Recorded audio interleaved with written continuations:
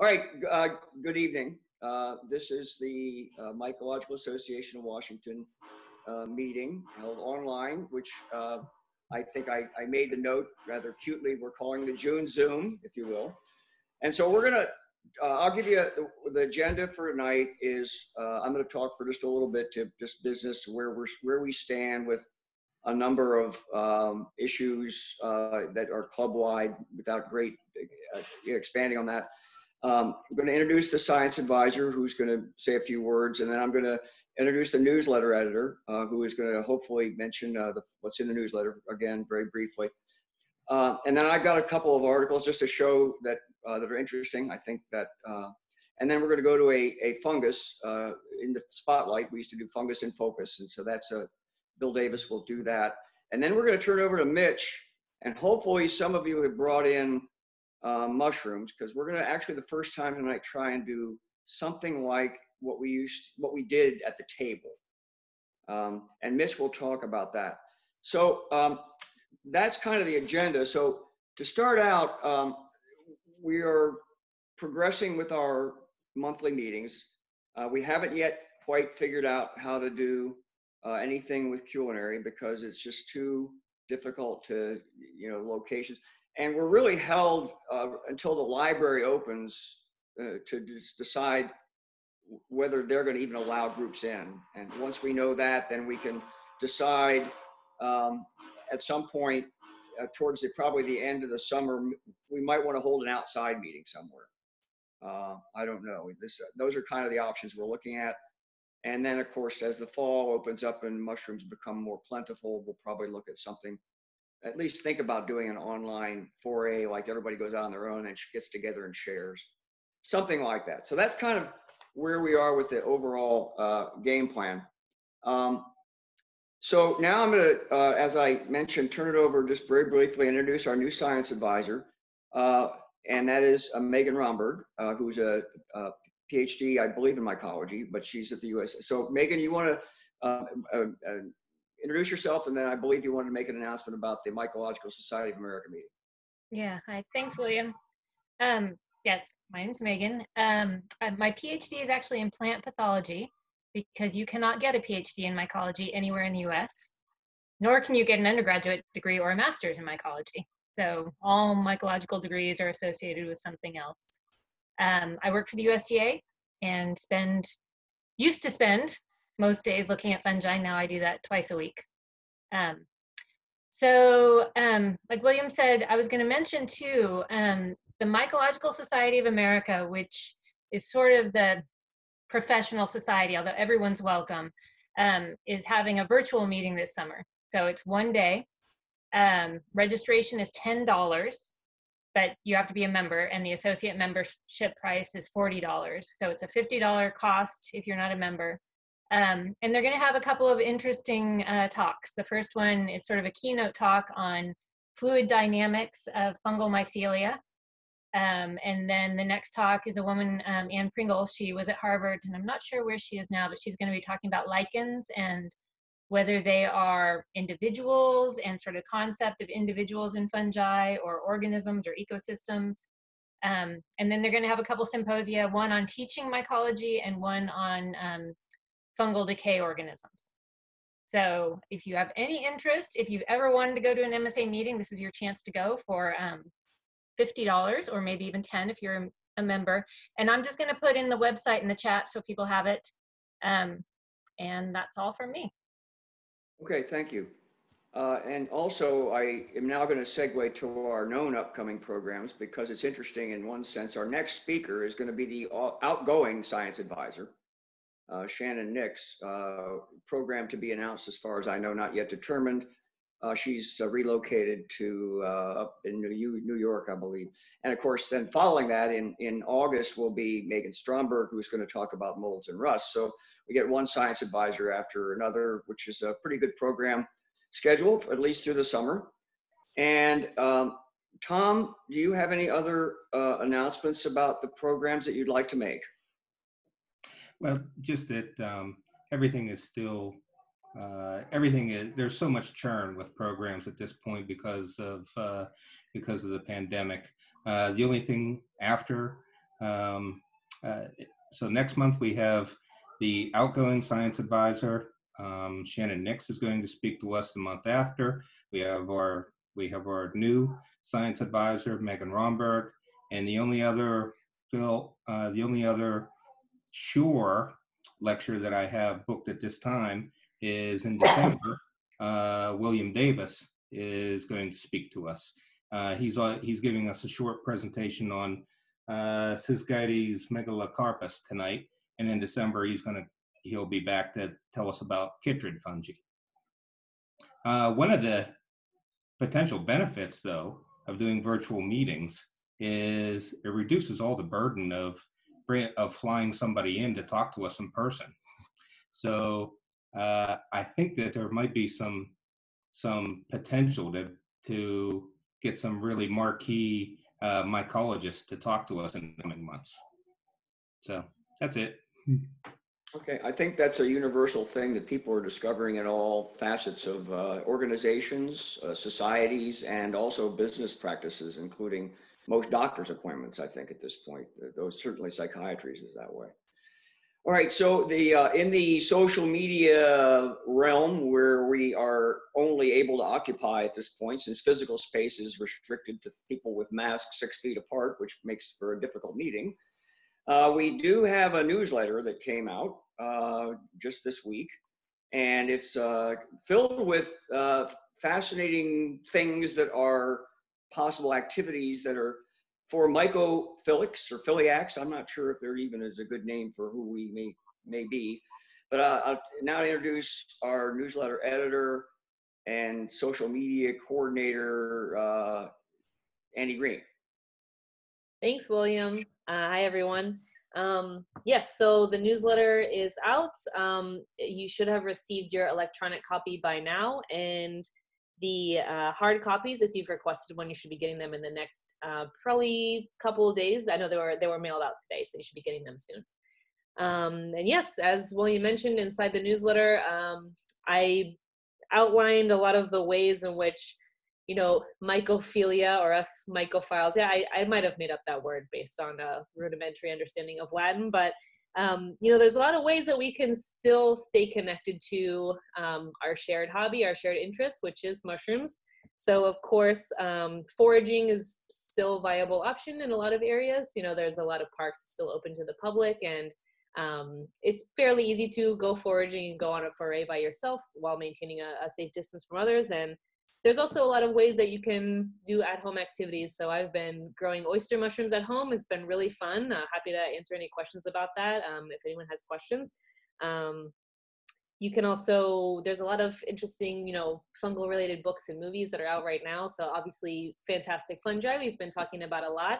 Uh, you can rent or purchase that online.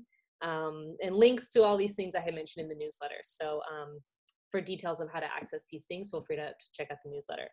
Um, so yes, there's at-home mycological activities and also some fungi in the news. Uh, to me, the, the notable fungi in the news, um, I guess relevant to our area specifically, is that there's a petition circulating by a group called Decriminalize Nature DC. And if this petition reaches enough signatures, it would allow DC voters to vote in November on whether or not to decriminalize um, entheogenic or psychedelic uh, plants and fungi. So it's not on the ballot yet, but if this petition reaches enough signatures, it would be. So if that's of interest to you, um, you can check out the website Decriminalize Nature DC um, for more information. Um, and yeah, as Tom mentioned, there's not too much in the newsletter as far as upcoming events because we're not really sure exactly what's going on, but at least there's um, our, our upcoming speakers are for sure. So and that's all for the newsletter. As far as the social media activities, uh, I really have to give credit to Tom Moore, who's been managing our Facebook page and doing an excellent job at it. So I think I think he's here this evening. So thank you, thank you, Tom, very much for for your hard work in posting really interesting articles and having really interesting discussions with people. Um, if any of you are interested in staying connected with us um, online, as we are right now, um, but on a more day-to-day basis, you can check out our, our Facebook page. There's a lot of really interesting resources on there. And credit goes to Tom for that. So um, that's all I have. Thanks. Okay, uh, any other board members uh, have anything to say? Just as one note that Bruce brought up the not surprisingly, the NAMA, North American Mycological Association annual event is uh, canceled, postponed, whatever. This year, there will be one in 2021. More on that later. Uh, Any other board member have any uh, thing they'd like me to, or would like to say with regard to their own area that we haven't covered? I'll just jump in with meeting logistics. Um, everyone's on mute, which really helps so that we can hear the speaker. But um, there is a little chat window if you want to open it up. If you if you move your mouse, you'll see the the link for that at the bottom. Um, and in the last meeting, folks were having fun um, chatting a little bit during different speakers. But also, it's a great way to if you have questions for folks. Um, if you put your questions in the chat window, we'll make sure we ask them at the at the end of the talk. Okay, uh, in keeping with my preliminary uh, or tentative agenda, which we are following, I'm now going to turn it over to uh, Bill Davis to talk about, uh, I won't even try to, Syzygites megalocarpus, that's probably as close as I'm going to get. So uh, I think he's got a presentation he's going to share. So um, Bill, you have the floor.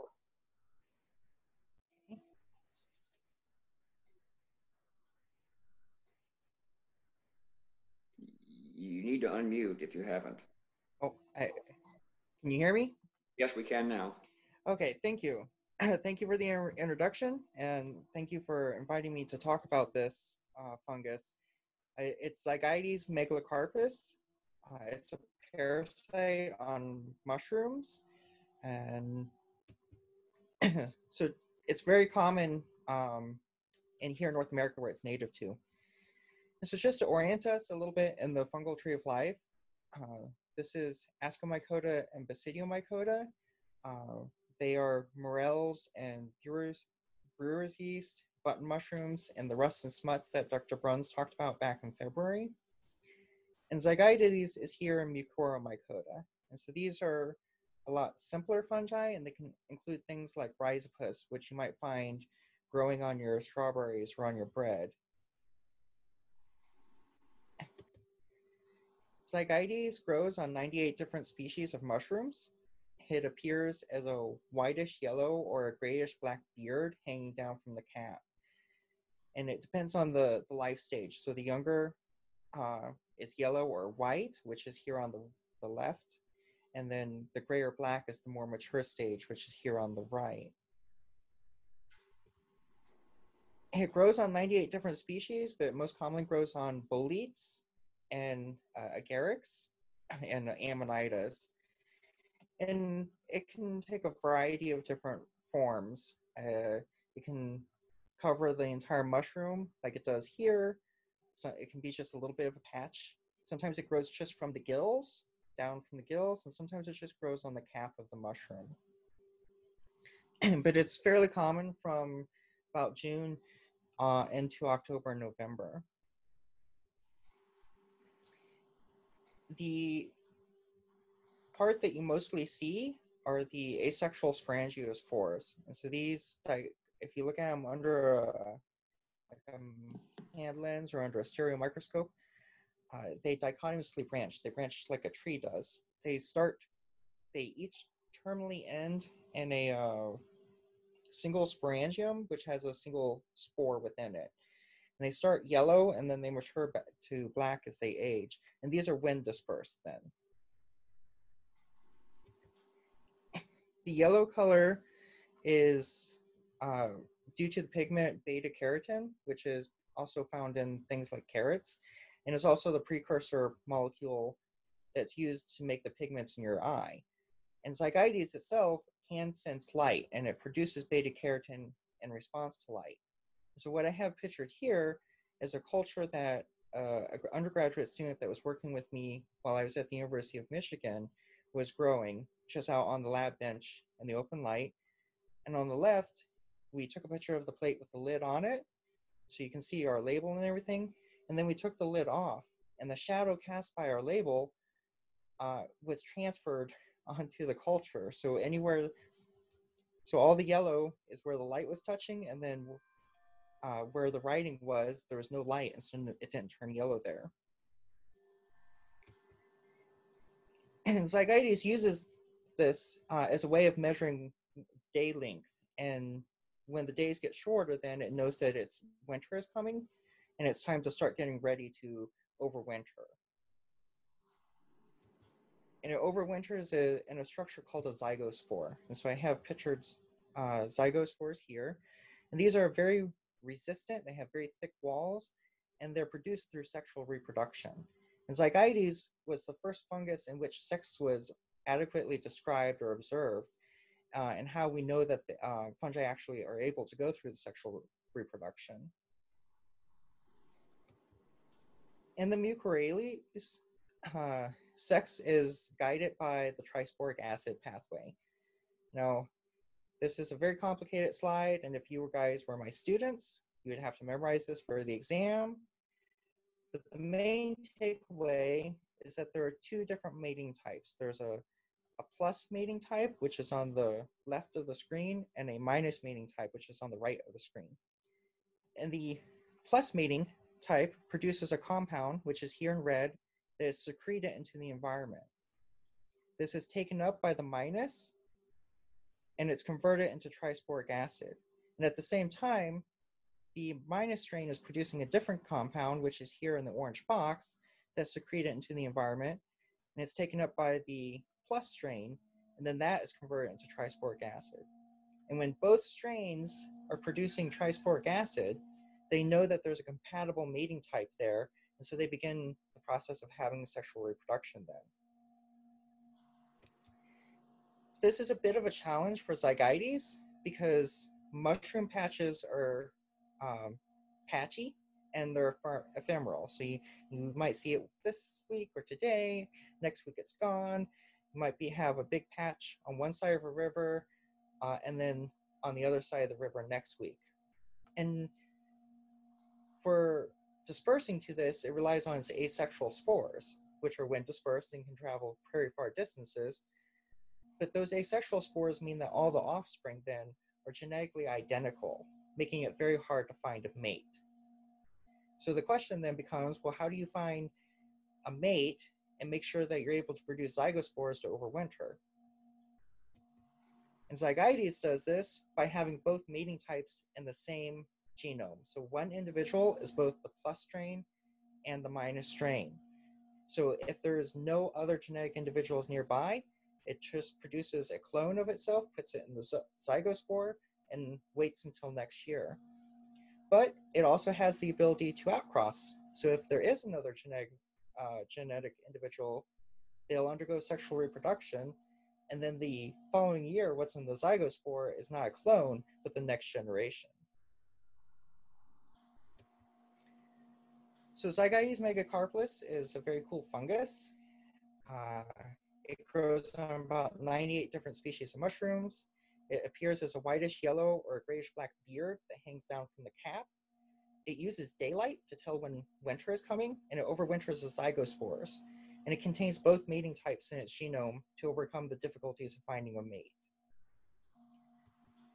So I, if we have time, uh, I will happy to answer any questions, and, and thank you guys for listening.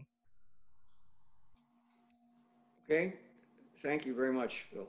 Um, just one question. What do you happen to know where the, the, the genus name is really peculiar? Do you happen to know anything about the etymology of that? Uh, not offhand, no. I mean, somebody had to go out of their way to make up letters uh, in that order. It, it can't be. Uh, it's got to have some rationale, other than making it even more frustrating for those of us who are not particularly uh, versed in either Latin or uh, any other foreign language, other than uh, an occasional word in French to try and figure out what the heck it means and to pronounce it also, which is a challenge. Okay. I'm not sure. Are there any other questions?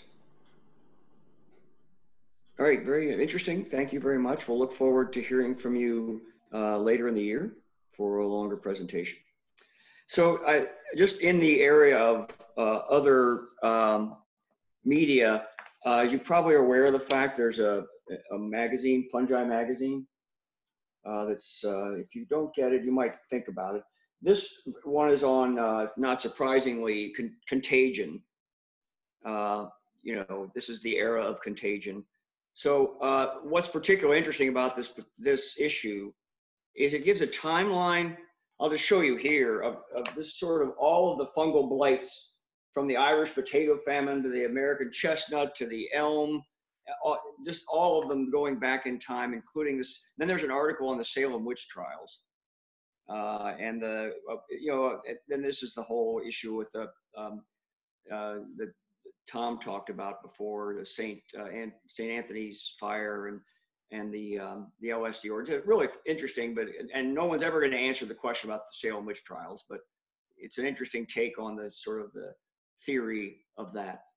And then the last thing I wanted to bring up, I did this last time because I mentioned it was the first time in Science magazine I'd seen a full pay a full article on fungi. Well, this issue, this is this one that just came out that is a fungus on the cover. And not just any fungus, it is a, a wheat fungus that uh, interestingly is wheat is one of the few crops that does not have a, a GMO version, if you will. And this particular fungus uh, wipes out about 20% of all wheat. I wasn't aware of that. And uh, the article is about a genetic fix to that that is a, a natural fix.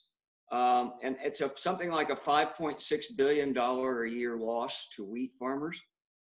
And the article goes on to talk about all of the other genetic changes um, and where they are in our food system, uh, pointing out the 10% of the crops that are uh, of the arable land, I believe, is, is uh, planted with crops that have been modified. Uh, so remember, this is Science Magazine and that's the business of genetically modifying is a matter of science. There are other issues that people have with that, but that's something you can think about on your own. This is not a political forum. It's a good article. I will send a copy to Tom uh, since I'm a subscriber as I did last time, and you can make up your own decisions in your own mind about whether you think it's uh, something you want, want to, to learn about. So uh, it's now Stump the Chumps time. Um, if any of you still remember Click and Clack, they went off the air some time ago. The reruns are still there. Uh, but I'd like to turn it over to our foray chair, who is actually in California. And if you got on early, you learned it was 1600 there, uh, and that's not Pennsylvania Avenue. Uh, that's the time. And so Mitch is going to at least have a go at explaining how we're going to uh, do this show and tell part. And we'll do this for, if anybody has anything, obviously, we'll do it for a maximum of 15 minutes. Uh, and then we'll go ahead to our, our program. So Mitch, if you would uh, take the lead and uh, introduce what you intend to do and maybe what you plan to do for the future. Okay, sure. Thanks. And hey, everybody. Hope you're doing all right. Um, so this is going to be kind of weird because we can't get everybody's screen on one screen at once. Um, I believe there is a hand raising uh, feature that maybe we could have people raise their hands. Um, as William said, I'm not there, so I don't know what the weather's been like. I don't know what kind of mushrooms are up. Um, I've seen a few pictures people have been sending and asking about uh, Neolentinus uh, lepidus, which is a, a common uh, conifer rotting fungi uh, they called it the train wrecker because it would infect railroad ties and eat them away and, and alter the tracks and trains would veer off. So I guess today we could try a hand raise reaction or something along those lines. Elizabeth, do you have some sort of way to see who's raising hands? And then maybe we could unmute that person and uh, they could hold up the mushroom. So this is how we're going to do it this time. I know this is a little um, ornery and kind of strange, but we'll try it this time. Uh, so the next meeting, uh, I'll what I'll do is I'll give kind of a little, you know, little instructions on what we can do on taking pictures and maybe we could have if you're going out walking in the woods and you see something that's cool you could take a picture like as you're walking up to it so you kind of see what kind of habitat it's growing in.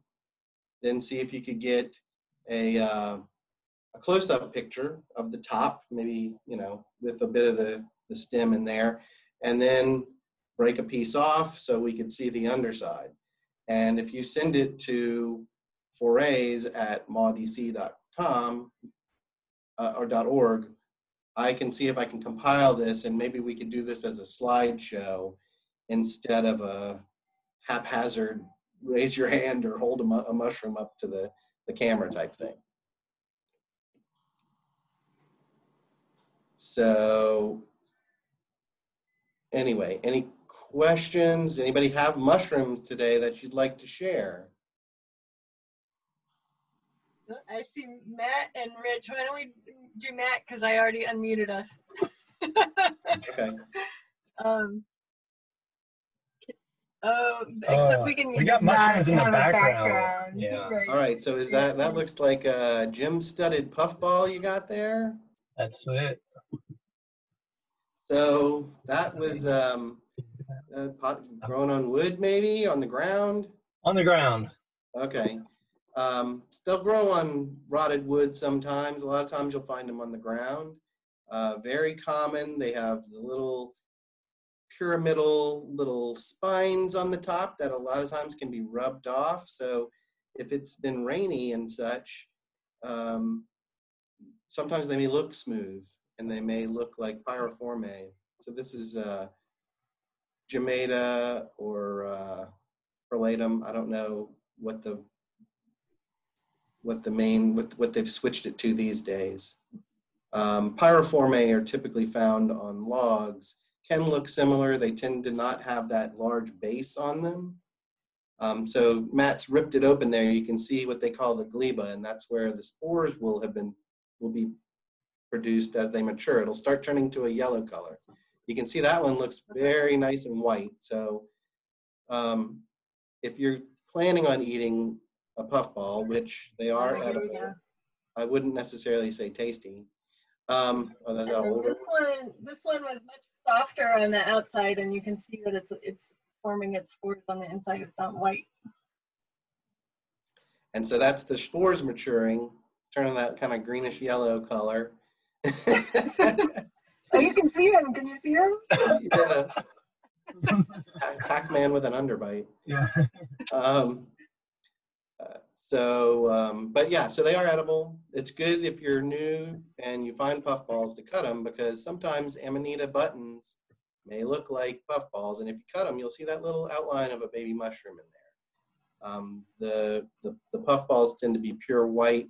Sometimes you'll get kind of that mix, or where you'll see where it's joining that sterile base and the gleba. But other than that, they're pretty distinctive and hard to misidentify. Anybody else? I don't have any mushrooms. It's very dry Renee. here. Renee had some. Um, and I- I'm in like San Jose, and I I'm I think I saw some dried up polypores the other day, but that's about it. So Renee and Tom McCoy both have stuff. So why don't we do Renee next? Okay. I will. Um, unmute do they need to speak to be shown? Like if they're not I- on this main screen, will they jump to people's main screen if they speak?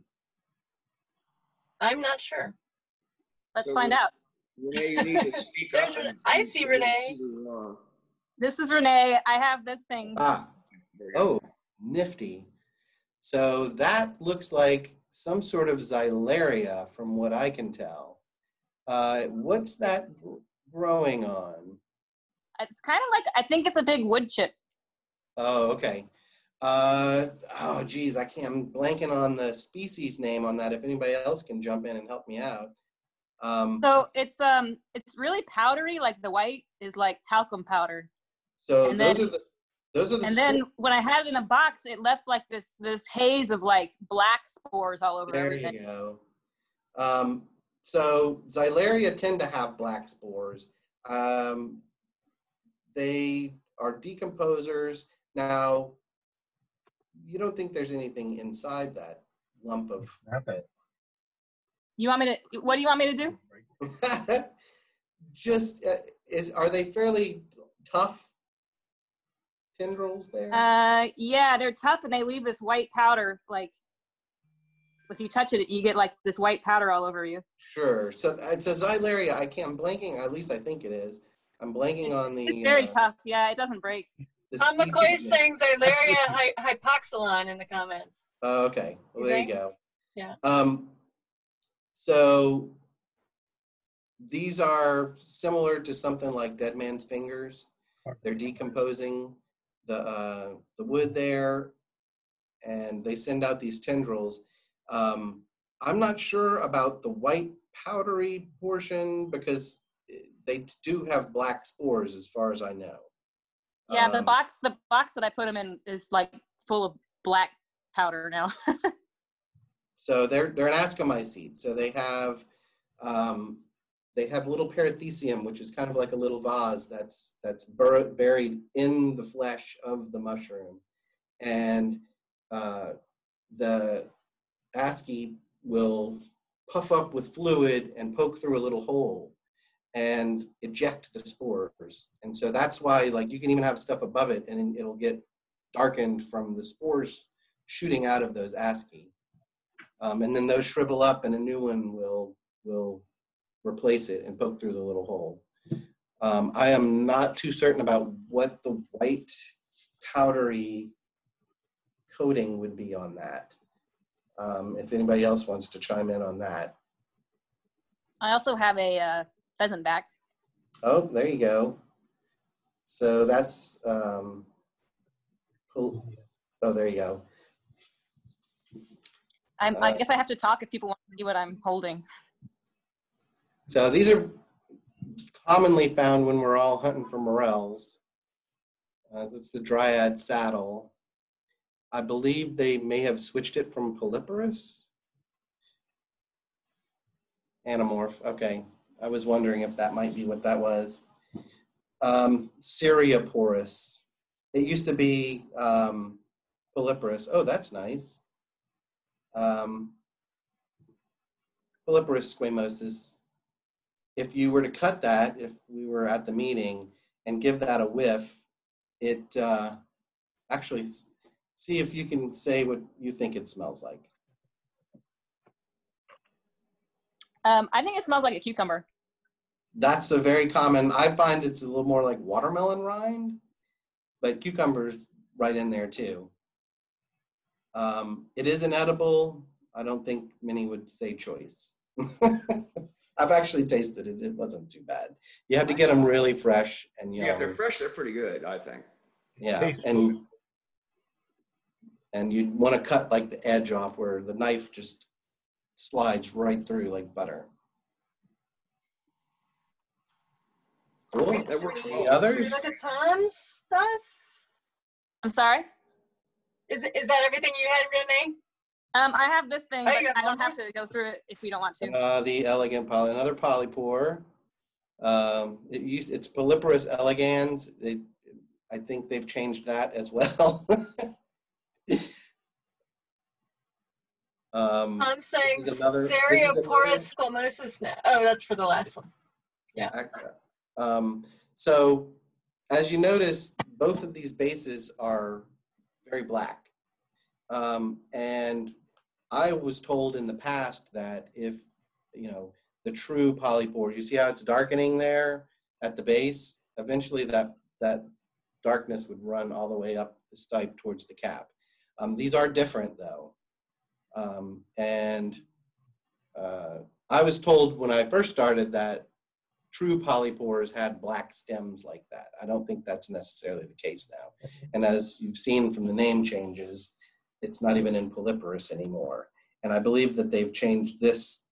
I don't know if it's out of polyporus or not, but I believe they changed its name too. Oh.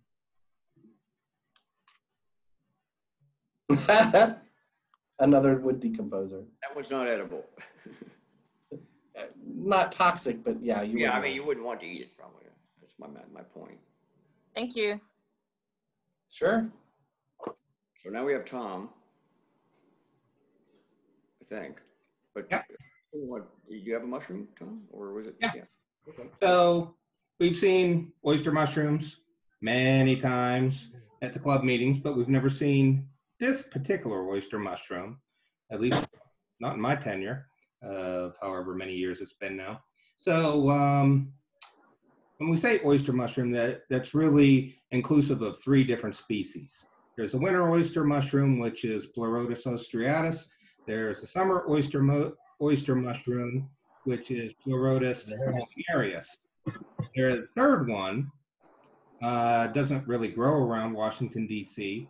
because it grows almost exclusively on poplar trees. Uh, this one is called Pleurotus populinus, and its and its tree of choice are quaking aspen.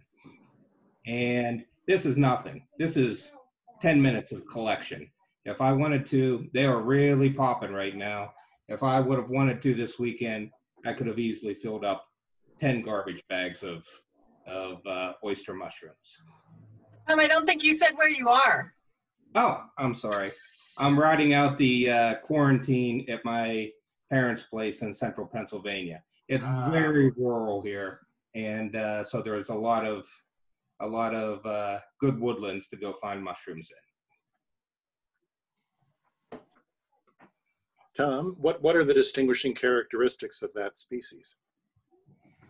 Uh, like all oyster mushrooms, I think for me, uh, obviously the uh, just the search image of it is is very good. These will grow in um, in layers on on top of well for this particular species on uh, dead and dying quaking aspen.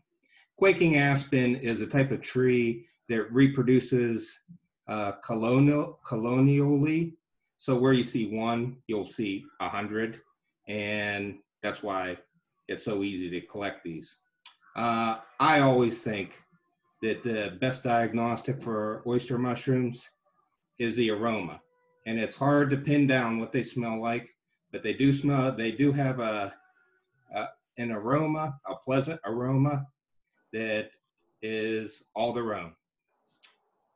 And uh, I think one other thing too that I always find so intriguing about oyster mushrooms is these mushrooms are nematophagous.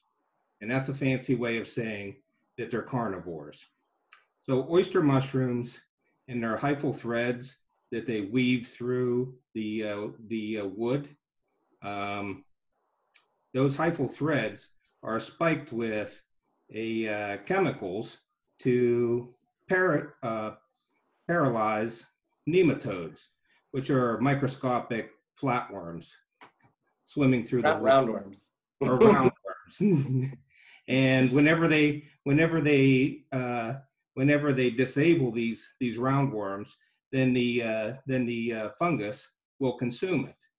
They do this for two reasons. One, because nematodes will are uh, a lot of nematodes attempt to eat mushrooms, so they're deterring uh, that that type of action. The other thing is it's a supplement because nematodes have nitrogen, and nitrogen is often a limiting factor in uh, growth for well for everything really. That's why uh, when you look at your bag of fertilizer, it says NPK. Nitrogen is listed first.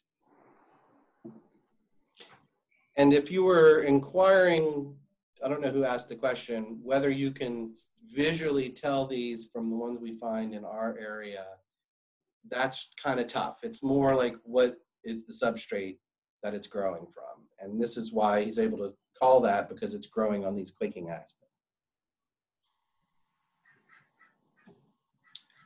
And I think somebody just mentioned uh, the instructions for taking photographs. I was planning on, I'll write something up and I'll send it to Tom.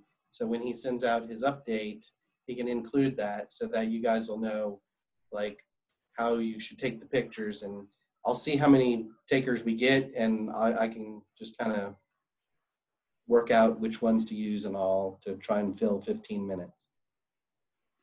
But you can plan on it for next month, so. uh, and I Right. think It's been a good trial, uh, and I think now you'll have the whole month. If you're gonna take a picture, you don't have to actually have the mushroom there. Mm-hmm. That gives you some, you know, if you find something in the woods uh, that's worth talking about, that should open, and then you could select the ones that are, you know, would be better to talk about. So I think that's a good plan f- to go forward.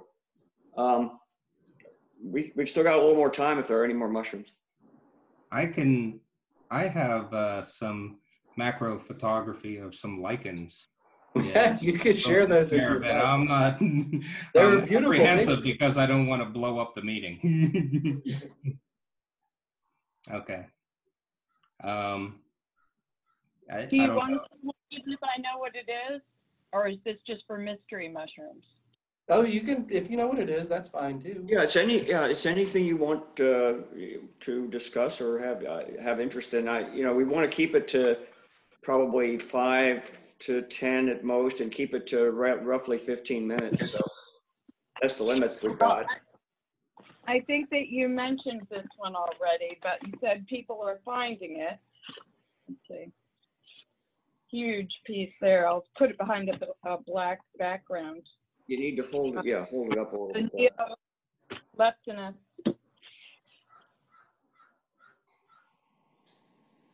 Can you see really, or we need more light?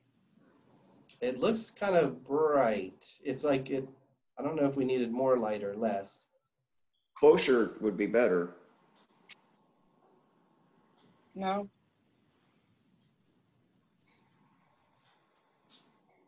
Oh yeah, that's, you can see. Can, So this- can you hold it right up to your camera? Yeah. And turn it in different directions so you can see the Yeah, stem. and- And, and actually, this would be a good one to possibly look at the gills if we can. And if we could, e- if we could see that, this is where photographs work good. This, it looks like a white, flush white, um, but that's okay. So this is probably the Neolentinus lepidus. Um, one of its distinctive features is it kind of has serrated gill margins. Um, so instead of being smooth, it's more like a, a serrated knife. Uh, those grow on conifer. And Yeah. they tend, tend to have those scaly top. Um, we had a picture, somebody else, we were talking in an email um, that may have some that aren't necessarily, the, the scales aren't as brown.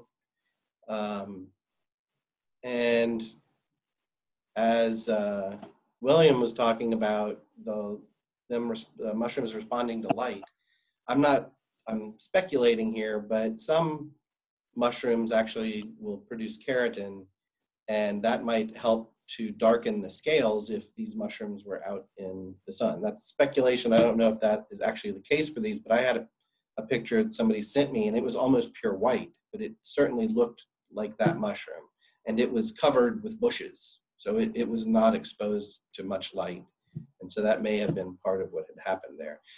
Uh, one uh, mushroom that definitely does that is hen of the woods. You can find what we I, I've actually found a hen of the woods that had a piece of bark that had fallen over half, and the other half was out exposed to the light. And when you picked up that piece of bark, there you know that side was super pale and just looked like a totally different mushroom than the side that was actually exposed to the light. So that may be what's happening, getting some of those darker and lighter scales on the top. Any other Any mushrooms? others? Mitch, I um, saw some, um, uh, we saw a lot of Stropharia rugoso annulata, commonly known as wine caps around here, none of which I tried because I think I'm allergic to them, but Oh, other no. people tried them and said they were great. And I will try to put up on the screen here if I uh, am, am able to share a screen. Um, let's see if I can do this. Uh, let's see, how do I share that? Zoom, Oh, look at that. Share. How do I share? Share. There we go. Now, can you see a mushroom now? Not unless you're one. Nope. Okay. And I see some files somebody shared, but I have to, I I guess I could download it. In the chat, yeah. I- I shared a couple of uh, ones in our backyard. They're uh, on the in the chat. They, they didn't Yeah. open. It's just a JPEG. I guess I could save it and see, but um, I'll see what I can do. Keep seeing if you can get yours going there. Uh, Yeah. Um, let's see. how can I do this? Um, These could be ones that we can save for next time too, you guys. Yeah, I think probably this is the, why we want to plan the event around a picture type operation rather than trying to wing it here. Uh, So unless there's some uh, breakthrough momentarily, I suggest that we should move on to our program. That works. uh, Who had planned to, we, we are at our 15 minute uh, time limit that I think is reasonable. We can revise that if we want to, but for the moment, I think we should go on. So. um, Oh, nice. Did I get a mushroom here? You did. Okay, so this mushroom right here is a Rugosoannulata, and you can see the very distinct um, uh, ring on it. And there's another close-up, maybe when we're sharing stuff this weekend uh, or on Friday. You can see the striations on this ring. What's And you can- interesting about this mushroom here is this mushroom is a Ovoideocystidiata, uh, Psilocybe ovoideocystidiata, which just happened to be growing next to it in a similar sort of place. Um, and um, I, it's just something that looks like a little brown mushroom, and I have a series of pictures of like a handful of little brown mushrooms that might be mistaken for this. This is what the ovos, you can see kind of the blue tint along the edge here and underneath here. That's probably where you were handling it, I'm guessing. No, it looked like that when I picked it up. Yeah, and has it'll- it'll- very it'll distinct white um, uh, mycelium at the base.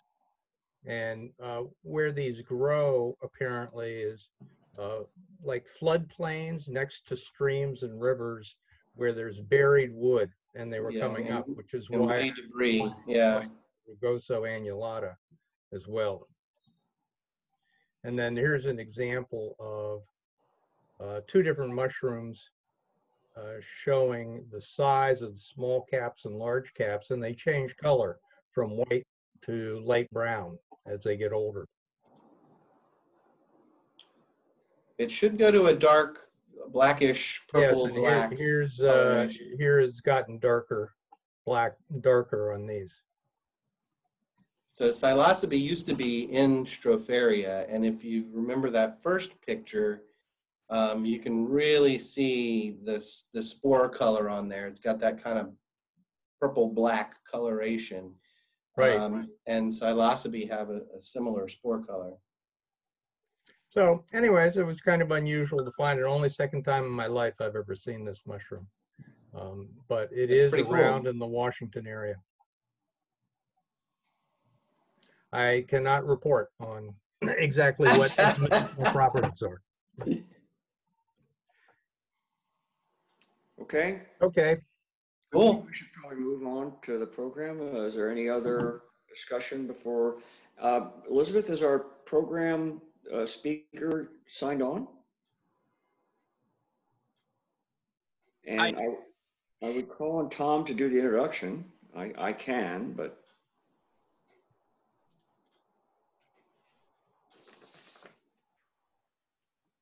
So we're looking for Dr. Christopher Smyth. Yep. Christopher Taylor.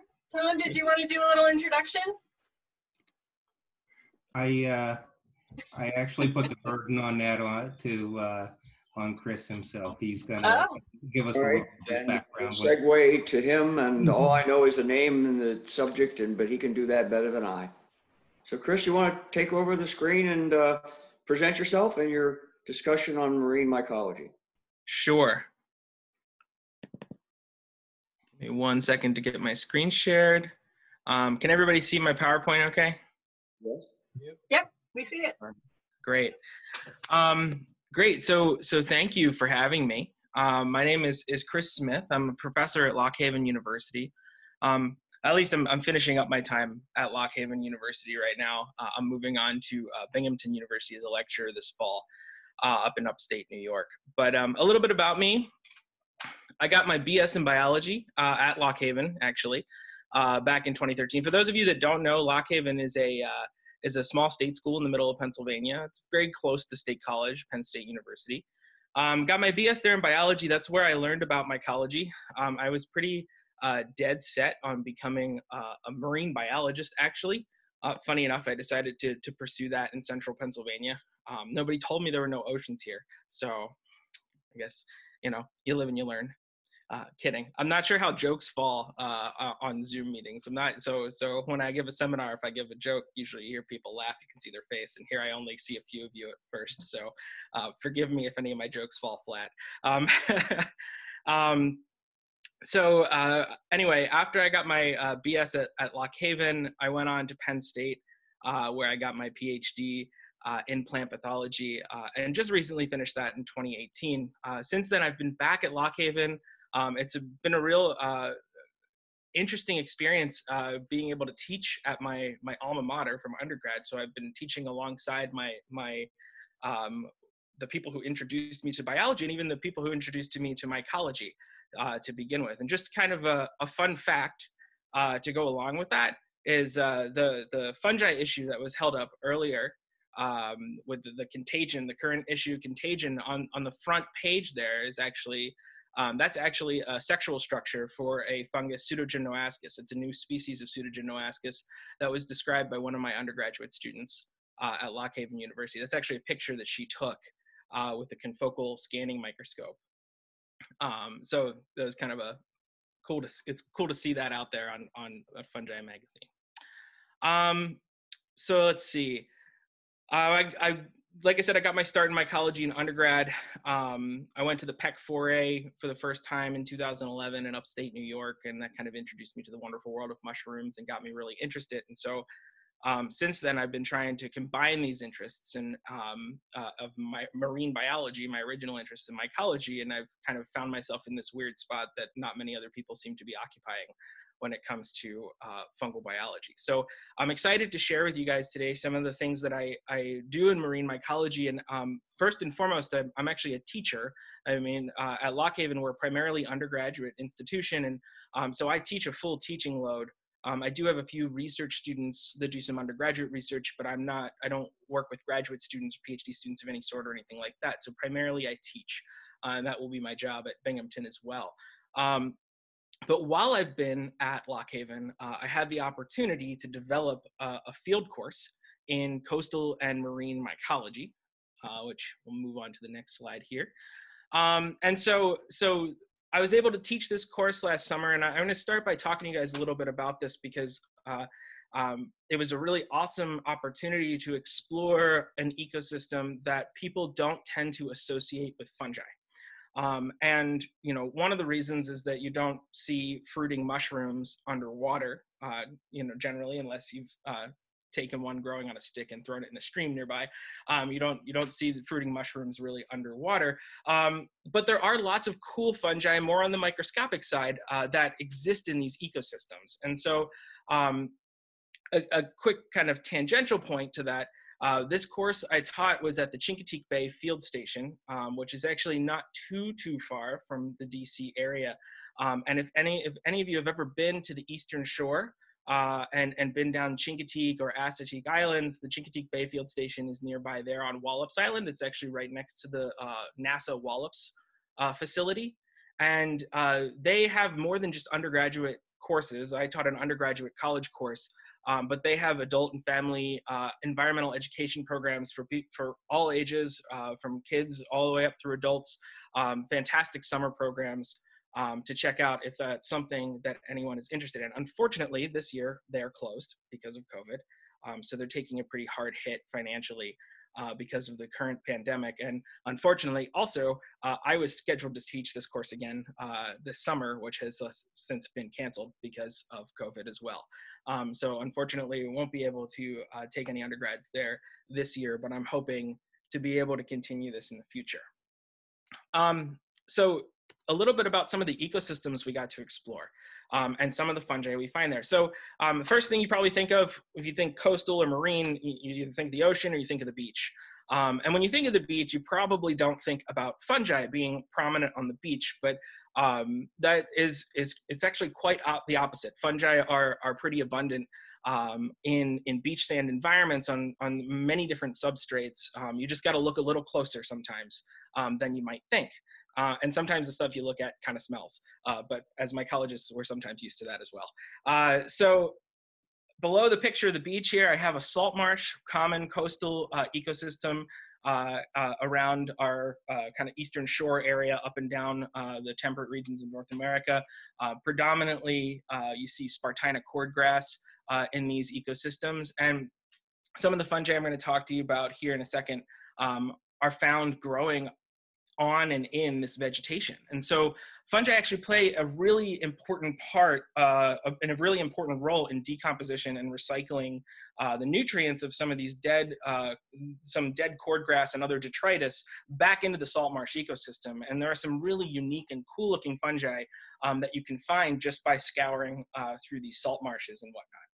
Um, and then uh, the third image below is, is um, not as high up as I would have hoped it, it, would have shown up, but this is from the, the back end of a boat. And one of the cool things we got to do um, with the students was actually take them out um, off the coast. And we actually have plankton nets um, that we put into the water and tow behind the boat um, to look for what we call mycoplankton, because there are actually fungi that live in the water column. Um, they play roles in decomposition. Some are just, you know, you do have like just floating spores that get in there from the air, but there are fungi that play a role in, in decomposition. They play an important ecological role there. Um, interactions with phytoplankton communities and other types of microorganisms in these oceanic environments. Excuse me. And then you get more ancient lineages of, of, of fungi in, in water, uh, aquatic environments, marine environments like chytrids as well that you can find. Um, and so we got to explore all of these environments uh, uh, in, in search of fungi. And so um, give you some examples of where you might look uh, for, for these fungi. And this is one of my favorite ones is if you've ever walked along the beach uh, on the East Coast here, whether you're in Rehoboth, Delaware Beach, Dewey Beach, uh, all the way down to Ocean City, Maryland, and beyond to Chincoteague and Assateague, um, you've probably seen something like this uh, where you have just like vegetation, dead vegetation washed up. Sometimes it smells a little bit. If you take it back to your house, it definitely will start to smell after a little while. Um, but you might not believe it, but there's actually an incredible diversity of fungi that can be found just below the surface of this dead vegetation. Um, and one example here, and this is actually a dissecting scope image, and you could probably get just as good uh, an image with a hand lens um, of this all these little circles, these little black craters here that almost look like volcanic eruptions coming out of this is this is uh, one of these pieces of vegetation up close and these uh, just underneath the surface of this plant is a bulbous little fruiting body called a perithecia because all these are, are ascomycete fungi generally. Um, and so they have the sexual structure of perithecia, which looks like a little flask. So if you would take a, a, razor and you just pop underneath the, the vegetation there, you can actually pop out the little fruiting bodies. Um, and they're big enough that you can hold them between your fingers. Um, and, and you wouldn't believe it just looking at this image, but underneath that uh, vegetation is, is all these little fruiting bodies all over the place that's pretty cool to look at. But if you take an even up, more up close and personal look using a compound microscope, the ascospores or the sexual spores that these fungi produce come in amazing shapes and sizes as well. Um, this is an example of one of the most common ones we found in salt marshes, but also one of, I think, one of the coolest ones. Um, these are ascospores coming out of an ascus. And so the ascus is the sac that holds the ascospores. Um, and and so these are all ascospores of the fungus uh, obeonis. And um, it's commonly found uh, on the salt marsh cordgrass just below the surface of the vegetation. Um, and it's got this kind of really kind of beautiful four-celled pattern.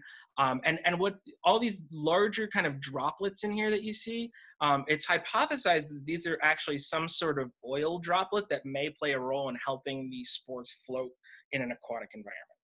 Um, so, uh, and, and here, this, this bottom picture, these are, they're even bigger in here, more well developed in here. You can see these larger kind of oil droplets in there. So, um, so a really cool fungus. And then just going back a couple of slides, another one that we found um, that was really fun to look at uh, was this, and actually the genus name is escaping my head at the moment. So um, if I remember, I will come back to it. But this is another one we found on this on this vegetation, um, and uh, what was really cool about this is coming out of that ascus sac it actually has a gelatinous sheath around each spore, and you can really see it around this one. Um, you know, I, I didn't stain these. These are just these are just straight on a compound microscope, no stain, just sitting in water. Um, so they so the spores themselves have this yellowish tinge to them, and then around them there's this gelatinous kind of uh, uh, sac, if you will. Um, and so there are some probably really cool ecological purposes uh, to the way these spores are shaped uh, and, and the structures that they have associated with them. And one of the really fascinating things about coastal and marine fungi is that we know almost nothing about them. Um, where there's there's been there's a lot of historical research on uh, on marine fungi, but it's but it's limited. It was done by a small handful of people over several decades, and you know since it's not really it's it's started to come more to the forefront in, in research circles for mycology now, um, but but until recently that wasn't the case. And so um, there's a lot left to be discovered in these coastal and oceanic environments, um, whether we're walking on the beach, in a marsh, or even out at sea.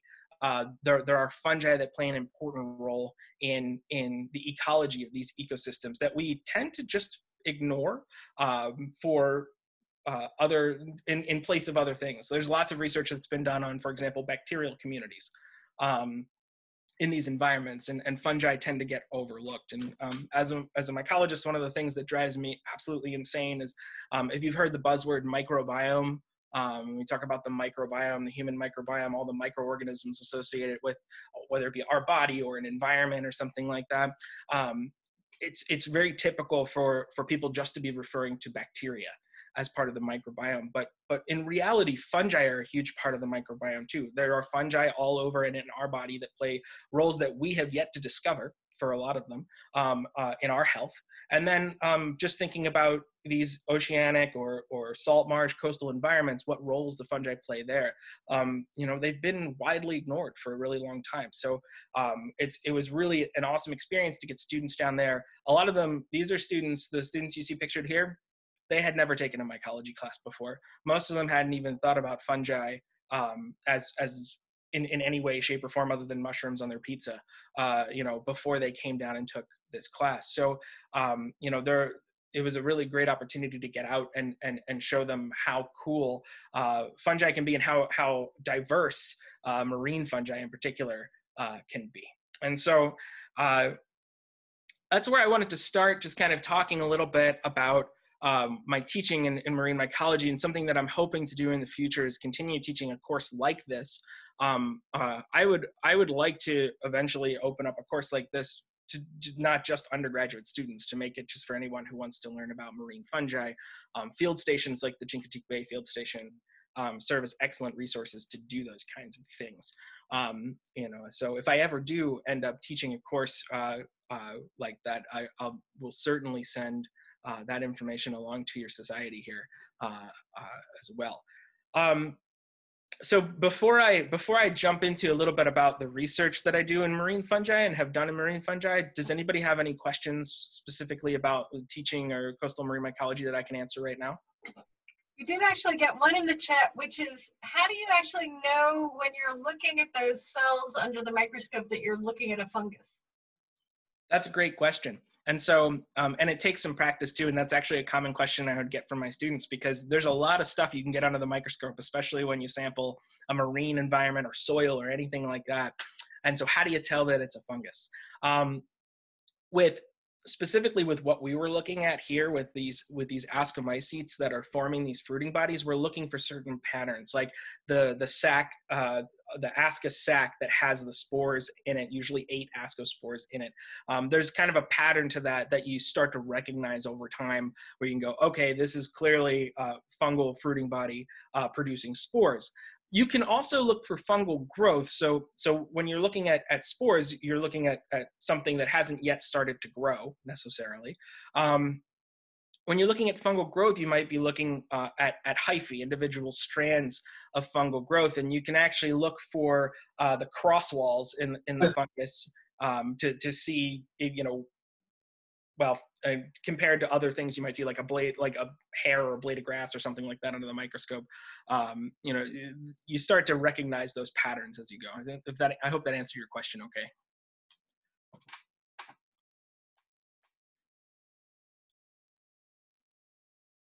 Any other questions?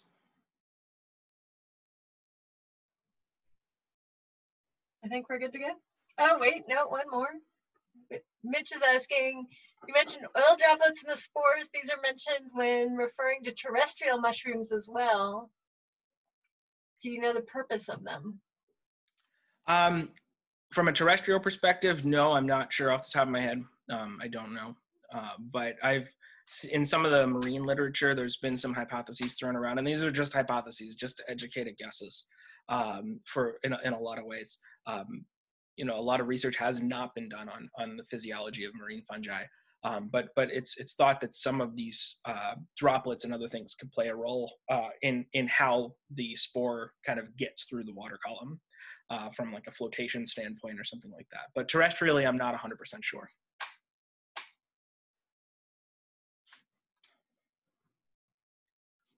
All right. Thank you for the questions. Um, the next thing I'm, I'm going to talk a little bit about here um, is the some of the research I've conducted on marine fungi, um, and and I'm not going to bore you with all the details of it, um, but there are some cool little stories um, that I want to get at in here. So so I'll, I'll, try to get to the end of the first one here, and if we have time, I'll jump into the second story um, from there. So um, overall, uh, like I had mentioned at the beginning, I, I spent a lot of time trying to marry my interests of marine biology and mycology, um, and I got my degree in plant pathology, and so um, there there wasn't much room for that when I was studying agricultural fungi and things like that. Um, but fortunately, I was working uh, in what's called the Fusarium Research Center, um, which is a culture collection at Penn State that houses over 20,000 strains of Fus- Fusarium species. So what is Fusarium, um, and this is a common uh, spore that you might see uh, if you look at Fusarium under a microscope. Um, Fusarium is a, a cosmopolitan fungus, uh, meaning it's it's found pretty much everywhere. Um, if you were taking a little bit of soil from outside of your house or apartment and put it on a petri dish uh, to select for, for, for fungi, chances are you'd probably get some Fusarium growing out. Um, they make these canoe-shaped or banana-shaped spores, and this is a, a microscope image of those. They're incredibly important economically and agriculturally. They ag- agriculturally they they uh, cause a lot of disease, a lot of plant diseases. Um, they're known mycotoxin producers as well, um, and they're also known opportunistic human pathogens. So they can infect humans too. Certain species can infect humans and, and as well as animals, um, so causing veterinary infections. So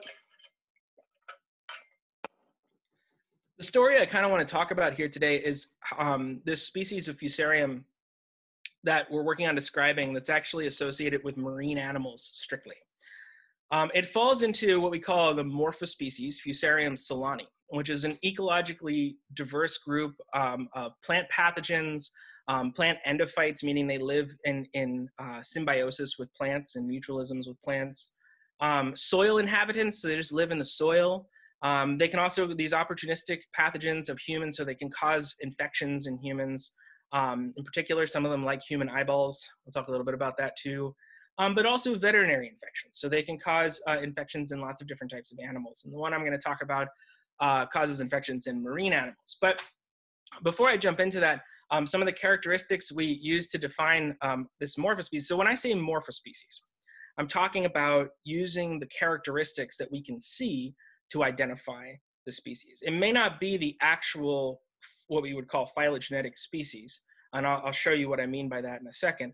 Um, but when you're looking at physical characteristics of the fungi, same thing with mushrooms, right? When you look at um, gill attachment and you look at the shape of the mushroom, things like that, those are morphological characteristics.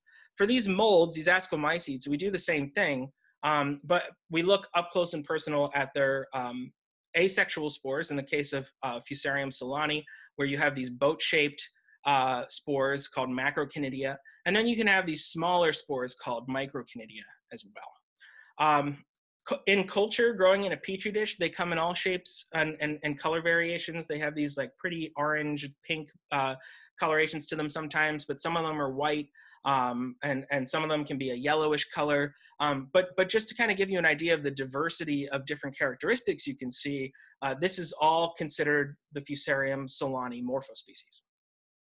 Okay, and so my next slide it's, it's gonna it's gonna look a little overwhelming, but there is a take home point here that I that I want to get across.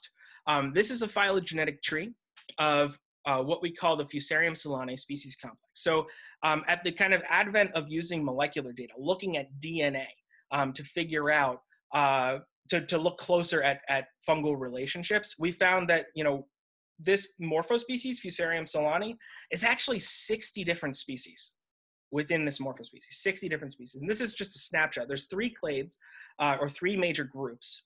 Um, and this is just one of those groups, uh, clade three here. Um, but, but try not to get too bogged down by this figure. It's just, the point is there's a lot of species within uh, Fusarium solani. But the trick is you can't tell them apart. Under a microscope, you can't actually you can't actually make a decision as to which of these species you're looking at. Um, you need DNA to do that. Um, and so for some for some of us it might that might kind of raise some questions like what's the point in defining a species if you can't observe the differences and, and tell them apart um, but what's interesting is beyond the physical characteristics there are actually ecological patterns too associated with species. And um, for example, one ecological pattern that stands out within these 60 species is that all known clinical, so medical associated and veterinary associated um, fusarium species, so those that infect humans and animals, are all in this one group we call clade 3. So this is the one I'm showing you here on the screen. They all fall into this one group out of three. They're not in the other two groups at all. Within that group, four of them, so I'm gonna call the Fusarium solani species complex FSSC, so I don't trip over myself talking about it uh, multiple times, but you're gonna see FSSC a lot. That's just Fusarium solani species complex. Four of these species are the most common Fusarium across the board associated with veterinary infections. That's Fusarium keratoplasticum, falciforme, petroliphilum, and then our undescribed species, FSSC12. Now, we have these little numerical identifiers here, FSSC2, FSSC3 plus 4. And, and the reason we have this is because the whole process, in, in a sense, is kind of working backwards when it comes to identifying and, and classifying these species. Um, molecular data was brought into the picture and this a tree like what you see right here was generated and we're like okay we have 60 different species according to dna but we had no descriptions no formal descriptions of a lot of these species. So until someone went in and actually did the morphological description actually went in and described the characteristics that they saw um, and uh, formally and published that they just got little uh, little uh, numerical placeholders fssc2 which is now keratoplasticum three and four, which is falciforme. So right now, FSSC 12 is just a placeholder as we formally describe uh, this new species. And so another characteristic, and I'll come back to this, is that these three species, notice all four of these are common veterinary uh, pathogens. These three in particular with names are also common human pathogens, but FSSC 12 is not, and we'll come back to that. So let's talk a little bit about FSSC12. So all of the isolates, all of the fungal isolates we have of FSSC12 are dominated by those from associated with marine animal infections. They, they've been found infecting uh, prawn and, and shrimp, causing kind of a black gill disease type uh, syndrome. Um, they've been found infecting uh, bonnet head and hammerhead sharks.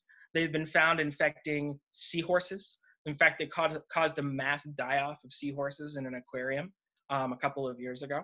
Um, and they've been found infecting horseshoe crabs. In fact, if you look at this table here, um, what I'm highlighting here is just all the different hosts we have found these species on, okay? And in fact, they come from all over the world as well. Now, what I wanna highlight here as well is if you look at the associated literature here, look at these dates, 1989, 1995, 1978.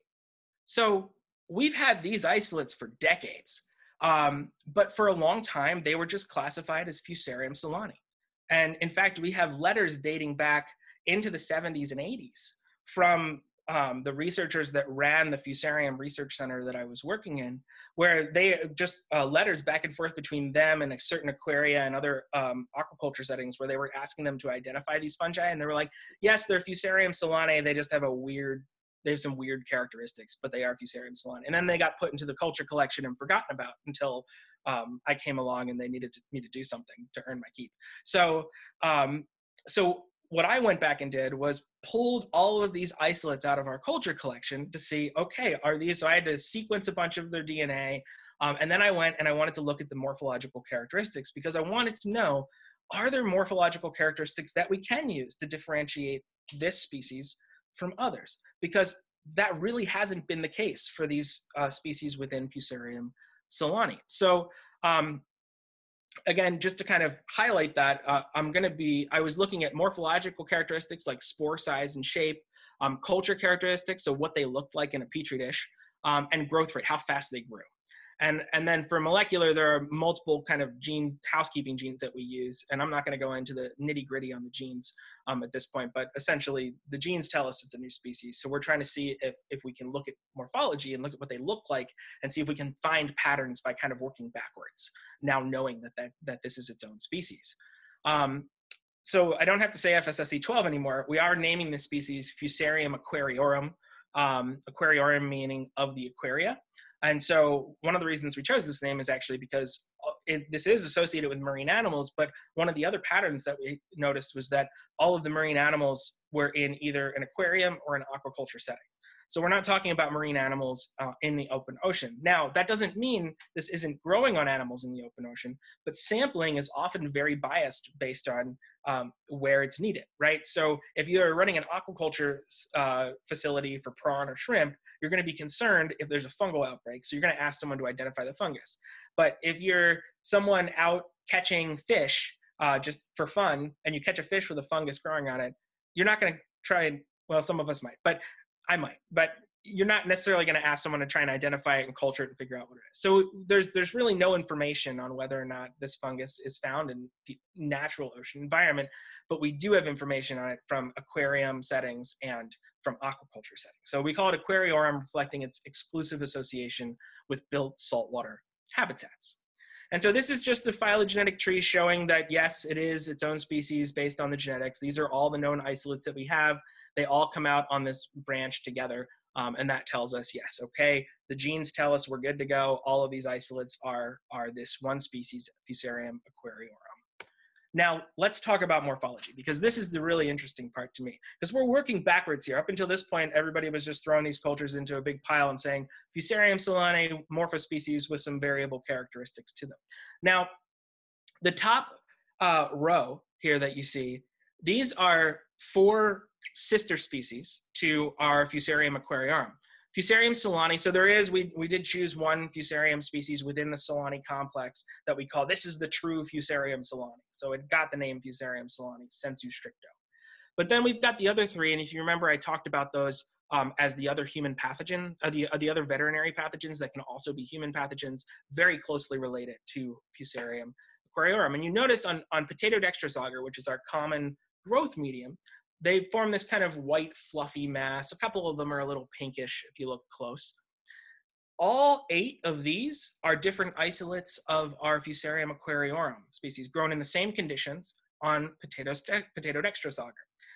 And they produce this, what we're characterizing as a wine red pigment uh, on this medium. And you can also see they, they grew out for the same amount of time over the same number of days. And you can see they grew a lot less than their sister species up here. So that was the first thing that clued us in and say maybe there are some more maybe there is some morphology we can look at here and say, hey, you know, this will help us differentiate these species. I also like how they look.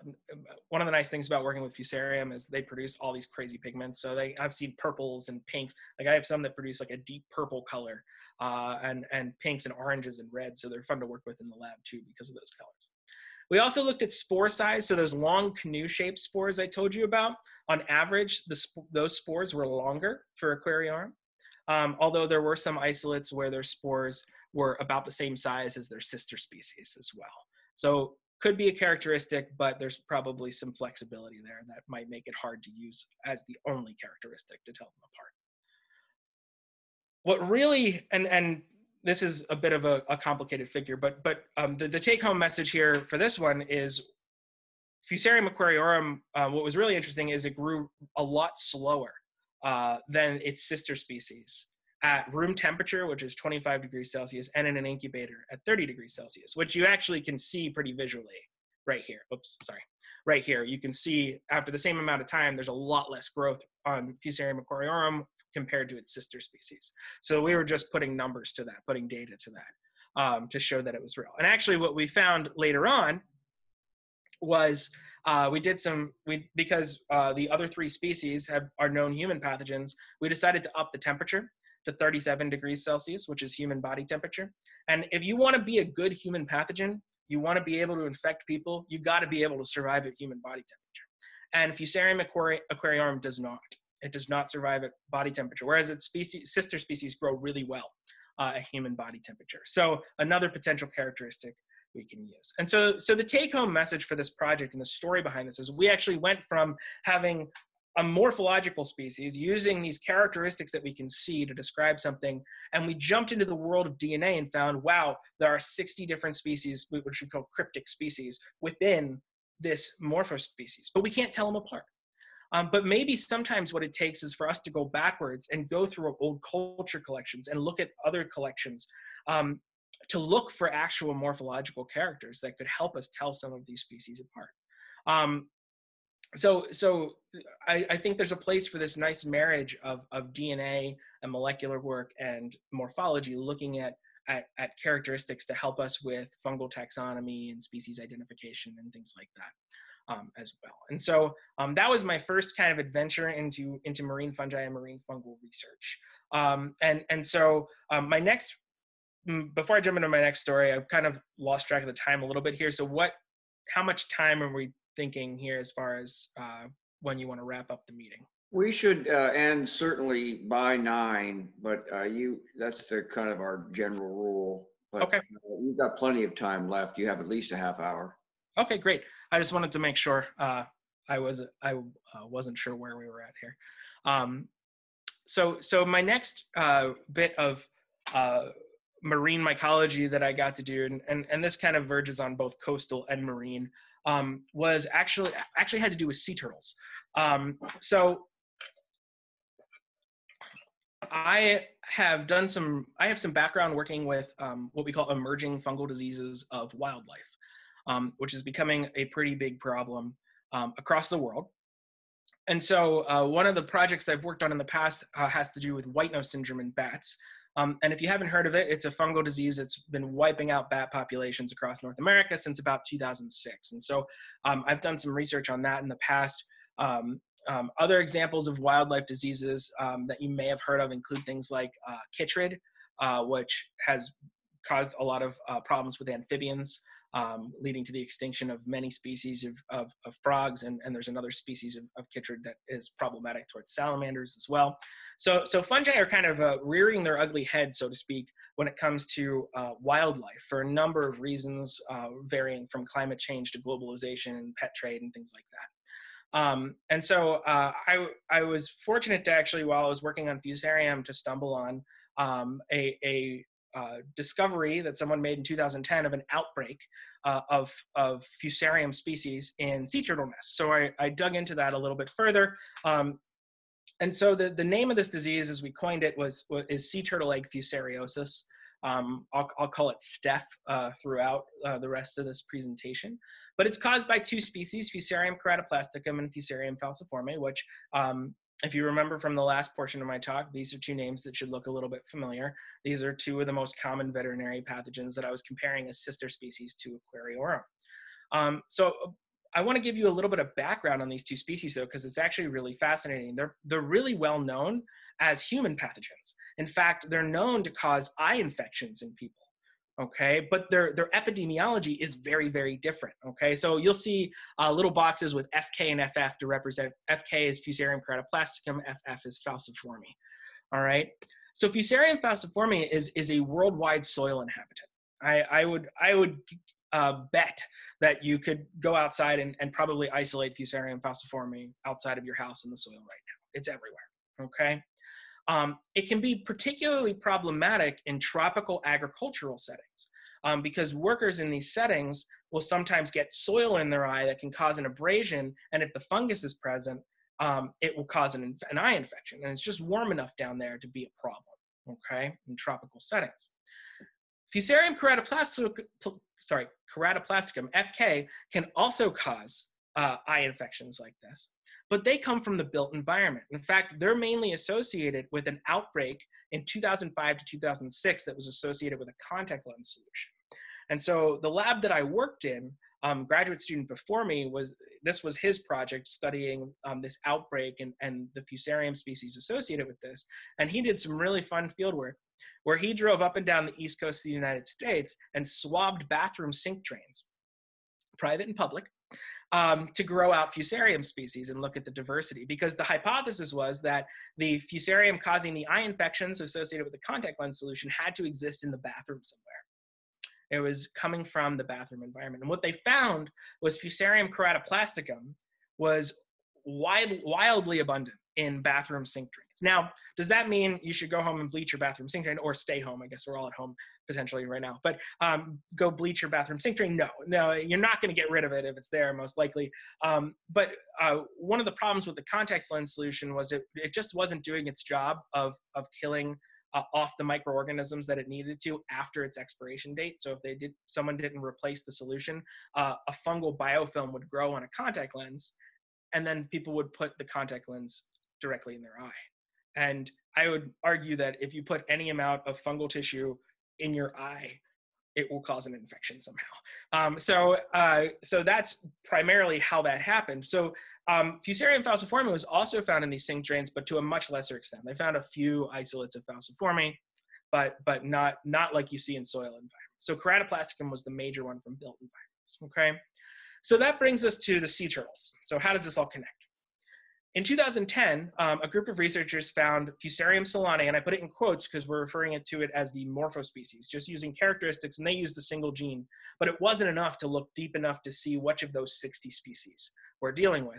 They found Fusarium solani associated with high egg mortality in sea turtle nests in Cape Verde um, in 2010. And you can see in this image here, um, what they're pointing to is potential symptoms like a grayish mat on the egg, as well as pink splotches on the egg. Um, and as well as fungal growth on, on dead hatchlings. And then what you hear, see here in image C is what you would expect to see uh, of a healthy, non-hatched, but healthy sea turtle egg, is a kind of more pure white look to it. Um, so not no microbial growth on it, essentially.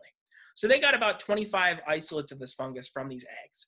Um, and uh, using ITS, they, uh, which is one of the genes we use, they, they decided it's in Fusarium solani somewhere, but we don't know where.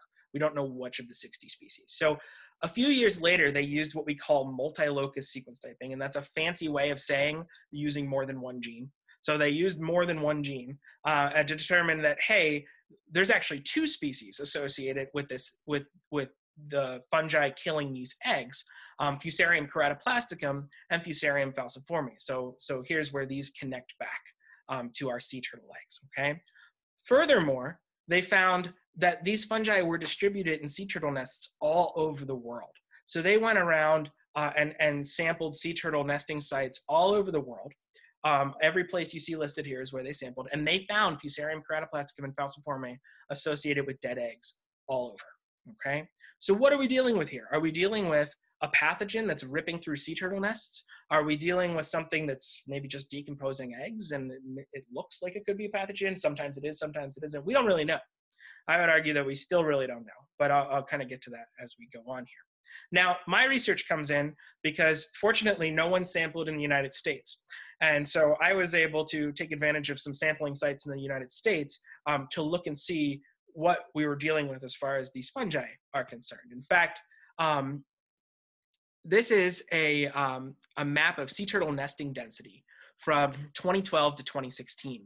And um, you can see the red areas are high density, um, the, the orangish areas are medium density, and the yellow areas are low density, meaning just less nests overall over the course of a nesting season. Sea turtle nesting season in Florida runs between about May um, and October.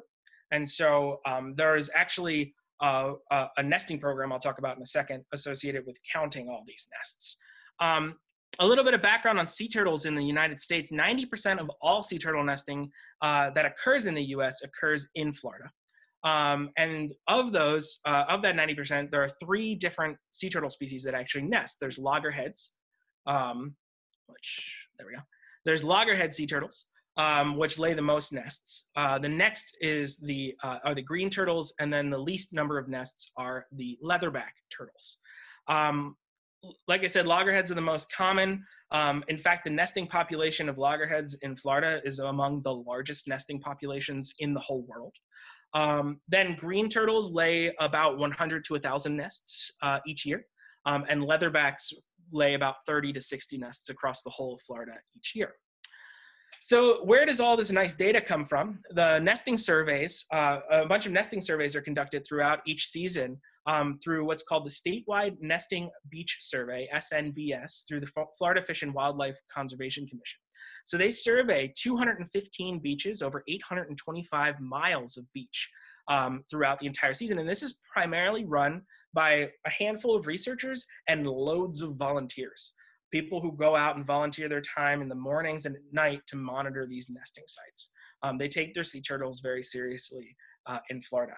In fact, um, the funding for this program comes primarily from uh, the Sea Turtle license plate program. So, if any of you have seen Florida drivers around, um, you may have seen uh, their license plate with little sea turtle hatchlings coming out uh, on the license plate. And that's actually a, a program used to fund the monitoring that goes on uh, down there. So, um, so that's you know a little bit of background on, on what's done in Florida as far as sea turtle nest monitoring is concerned. And so, with all of this monitoring going on, you would think if there was disease in Florida for sea turtle eggs, that somebody would see it, somebody would catch it, right? That would make sense. But this is a this is a uh, a figure from a paper looking at the um, mortality factor. So what causes the death of sea turtle eggs across Florida over the span of a decade from 2002 to 2012. And so the, on the on the bottom axis here, the x-axis, there it's just split up. It splits Florida into different regions: Northeast Florida, Central East, Southeast, so on so forth. When you look at the actual graph here on the, the bars, there are the different colors are associated with different mortality factors. So what caused the death? So um, just looking at Northeast here, the green is complete washouts, which is when um, you have the tide comes up and just completely wipes out a nest often occurs in association with storm systems like hurricanes and tropical storms, storm surge. Um, predation by ghost crabs, which can be a big problem. Um, ghost crabs like to eat the sea turtle eggs too, so they'll get into the nest and they'll eat the eggs, uh, is purple. Um, the light blue is mammalian depredation. So um, things like raccoons, coyotes, feral cats, foxes, you name it, love to eat sea turtle eggs. So they'll get into these nests too. Um, and then the orange is other. So things like ants, the fire ants are bad. Um, they'll get in there and they'll, they'll, they'll eat through an entire nest. Um, roots of plants can get in there as well and kill off the, the eggs, um, as well as poaching uh, of eggs as well what what I didn't talk about is what might stand out to you most in this in this figure are the big blue bars. And the big blue bars are where there was mortality, but they didn't report any mortality factors. So they don't know what caused the mortality. So for most of the nests that that had no mortality factors associated with them, even though there was death, um, they had about a 75% success rate, meaning 75% of the, the eggs that were laid hatched, the other 25% didn't and they don't know why the other 25% did. So there's actually some room here where we can hypothesize that maybe disease actually plays a role in the death of some of these eggs. Um, but we don't actually, we don't know. That's just a guess at this point. And so um, what I wanted to do and, and what I did uh, with my research was uh, I wanted to look at just the fusarium species uh, present in these Florida nesting sites. And so um, the diversity of the species there uh, I wanted to look at the possible presence and distribution of these two potential pathogens, FK and FF, uh, in nesting beaches uh, and associated with sea turtle nests in Florida. Are they there? Are they not there? Um, and if they are there, are they in the nests or not? Um, and then I wanted to look and see if there was an association between their presence and death. So if we found it in a nest, did that mean the nest was less likely to be successful? Um, did, does that have something to do with the death of some of these sea turtle eggs, especially in these areas where there's no mortality factors reported? And so, so these were some of the questions I was trying to answer. Um, in order to do that, I had to collaborate with a bunch of different uh, organizations and researchers. In fact, um, there are um, 28 national estuarine research reserve sites across uh, the United States. Three of them are found in Florida. These are run through NOAA, the National Oceanographic and Atmospheric Administration. Um, and these are for research and education purposes um, and, and conservation purposes. And so uh, it just turns. It also turns out that much of the statewide beach surveys that they do are run out of these three uh, different uh, NERRS sites as their like headquarters for those as well. So there are researchers there whose primary job it is to coordinate the volunteers to go out and, and monitor the nesting sites. So when volunteers go out, what they do is, is there are people out at the beginning of the season looking for uh, tracks that would indicate a sea turtle laid a nest. They actually dig up the nest and they count the number of eggs um, in the nest, replace the nest, and then um, it takes about 50 days for a sea turtle nest to hatch. And so at the, but they have it marked off when the 50 day point will be. And they have, they actually mark off all these nests. So different beaches do it different ways, but some will put, and if you've ever been to a Florida beach during nesting season, I'm, you've, you've seen how they mark them off. Sometimes it's like caution tape around each nest. Sometimes it's a cage over top of each nest. It depends on where you are. Um, but after about 50 days, they'll be looking for signs of hatching, which actually you can see little flipper prints coming out from the hole where the nest was um, to indicate that hatching had occurred. Um, they will leave the nests for upwards of 70 days. So if they don't see, people go out every morning and check on these nests. And if they don't see hatching for 70 days, um, at about the 70 day point, they'll dig up the nests and see what happened. Um, and so a lot of times that's when we see some of our nests that were not successful, where there were a lot of dead eggs in the nests. Um, so I went out with volunteers and researchers who were digging up the nests, and they were what they were doing was counting the number of dead and the number that hatched, and they count the number of hatched based on the hatched eggshell fragments and the number of dead based on uh, how many whole eggs were still left over. And they can get basically a hatch success percentage. So if you have a hatch success percentage of 75%, it means 75 out of 100 eggs hatched su- successfully. And so um, I wanted to look at presence of fusarium species in correlation with that as well. And so I actually drove down um, to to Apalachicola uh, on the uh, Gulf Coast here by uh, St. George Island is where we went out and sampled. Then I drove down to Rookery Bay, um, which is down by Marco Island, down by Naples in Florida. Uh, and then I drove up to Guana Tolomato Matanzas, or GTM, which is uh, just around the St. Augustine area, just south of Jacksonville. And all of these are beautiful areas that I highly recommend visiting if you ever get a chance. Um, but uh, I, while I was there, I was able to go out and sample from sea turtle nests. I would swab eggs, and so this is kind of what this is from Rookery Bay. Um, I was out uh, with these two researchers as they were digging in this into the nests, pulling out the eggs, and what they're doing is actually collecting data on whether or not the the eggs hatched successfully. And so um, you can see a lot of this was a pretty unsuccessful hatch. You can see a lot of these are whole eggs, so these are dead uh, eggs that never hatched. Um, and so once they pulled them out and did their counts, I would go in there with my swab and swab the eggs. And then I had Petri plates with media where I would put the swabs on. I also took sand samples from in the nest and outside the nest and put that on Petri dishes as well to grow out fungi and just see what kind of fusarium uh, species were there. So what were we looking at with some of our nests? Um, when you look at the eggs, uh, we saw quite a few different things. Um, and if you remember from the slide I showed um, at the beginning of this, I showed kind of some of the, the symptoms that people were identifying as associating with this. Um, we saw all sorts of things, including um, blackish colorations, yellowish colorations, kind of gray mats on the egg.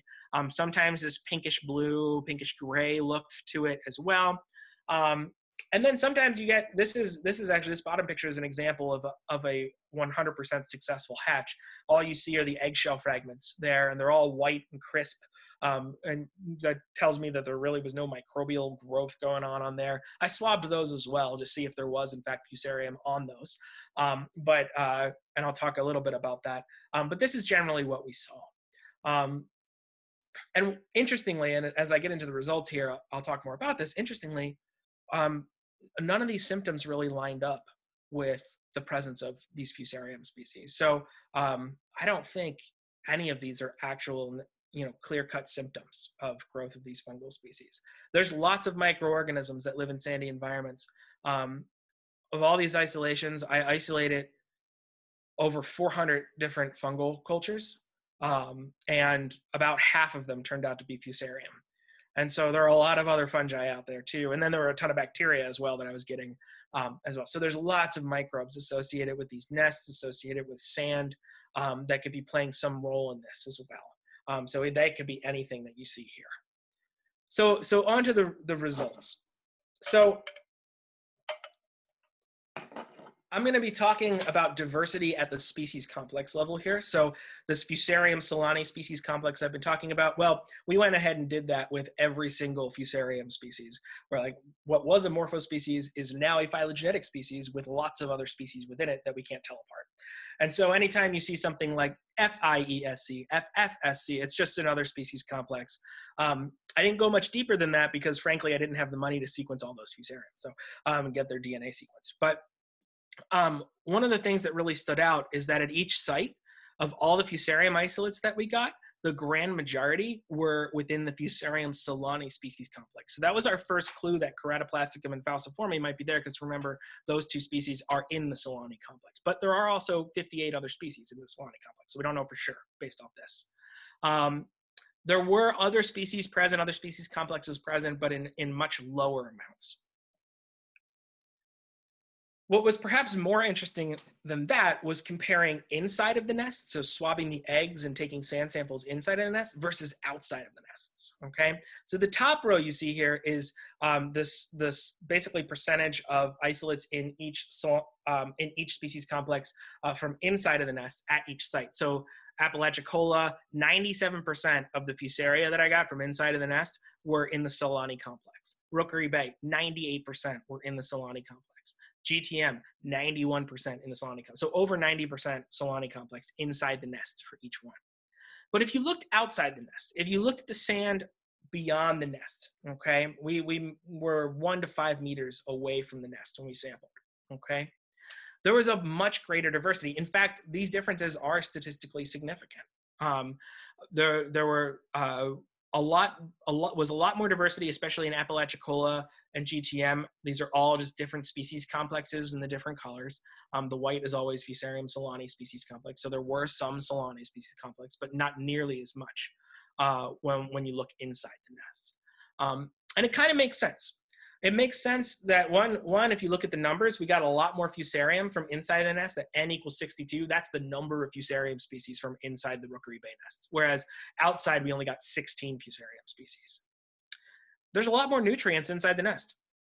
I mean, sea turtle eggs are are are essentially um, large balls of nutrients for any kind of microorganism if they can break through the shell to get to. So um, it would make sense that you would find maybe more microorganisms associated with the eggs versus outside in, in, in the sand, which is more of kind of a desert-like condition with high UV, high heat, um, and, and a, lot, a lot less nutrients available. So what this image is showing um, is the breakdown of our FSSCs. So, so remember FSSC, Fusarium solani species complex. Fusarium keratoplasticum, FK, and FF, Fusarium falciforme, made up all of the Solani complex isolates that we found. So of, of the 60 potential Solani complex isolates that you could find um, at any given point, the only two that we found were keratoplasticum and falciforme, okay? Um, and, and so and this this didn't change from inside the nest to outside the nest. So the first uh, graph here is just from inside the nest where we had, um, and the n number is just the number of Fusarium solani complex species. And you can actually see uh, here, blue is FK and orange is FF. So these were just all FK and FF across the board. Same thing outside the nest. The, the number of isolates were lower, just like I showed in the last figure, but um, FK and FF were the only two Solani complex found. Um, uh, inside and outside the nest. Now, the other interesting thing was that I I had swabbed dead eggs, but also hatched eggshells. So I wanted to know was Fusarium keratoplasticum and falciforme were they associated with with successful hatches as well? Because if this is a disease that's wiping through sea turtle nests, you would expect that where you find it, you find death, right? Well, that wasn't the case. In fact, um, if you look at uh, dead eggs, we found uh, overall about 70% of the time um, we found uh, Fusarium keratoplasticum or falciforme. Um, the other 30% of the time they weren't detected. So of all the dead eggs, 70% of them had keratoplasticum and falciforme. And if you look at hatched eggs, so successful hatches where clear it was clear the hatchling got out and made it to the ocean, we're good, they're alive for now. It was about almost 30% of those hatched eggshells had keratoplasticum and falciforme associated with them. 70% did not. And so there's an argument to be made here that if we're finding uh, keratoplasticum and falciforme on healthy hatched eggshells, it may not be wreaking the havoc as as a disease as, as a disease you would expect a disease to do uh, as much as as is thought. Um, and the last figure here is looking at it compared to hatching success. And, and like I said, I wanted to you know look and say, hey, were keratoplasticum and falciforme associated with negative or, or poor hatching success? And so because keratoplasticum and falciforme were the only two Solani complex, we can just look at the FSSC as a whole.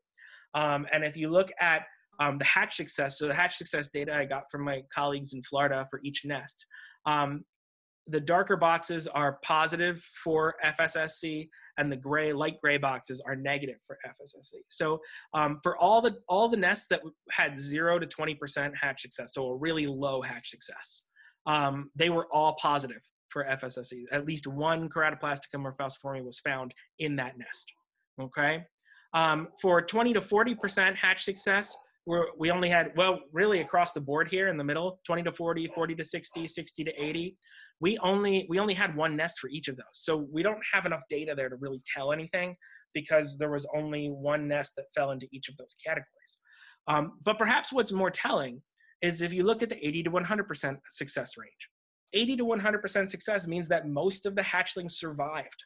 And even there, about eight out of the 11 nests that we that we that I swabbed had keratoplasticum or falciforme in it, even though they were successful.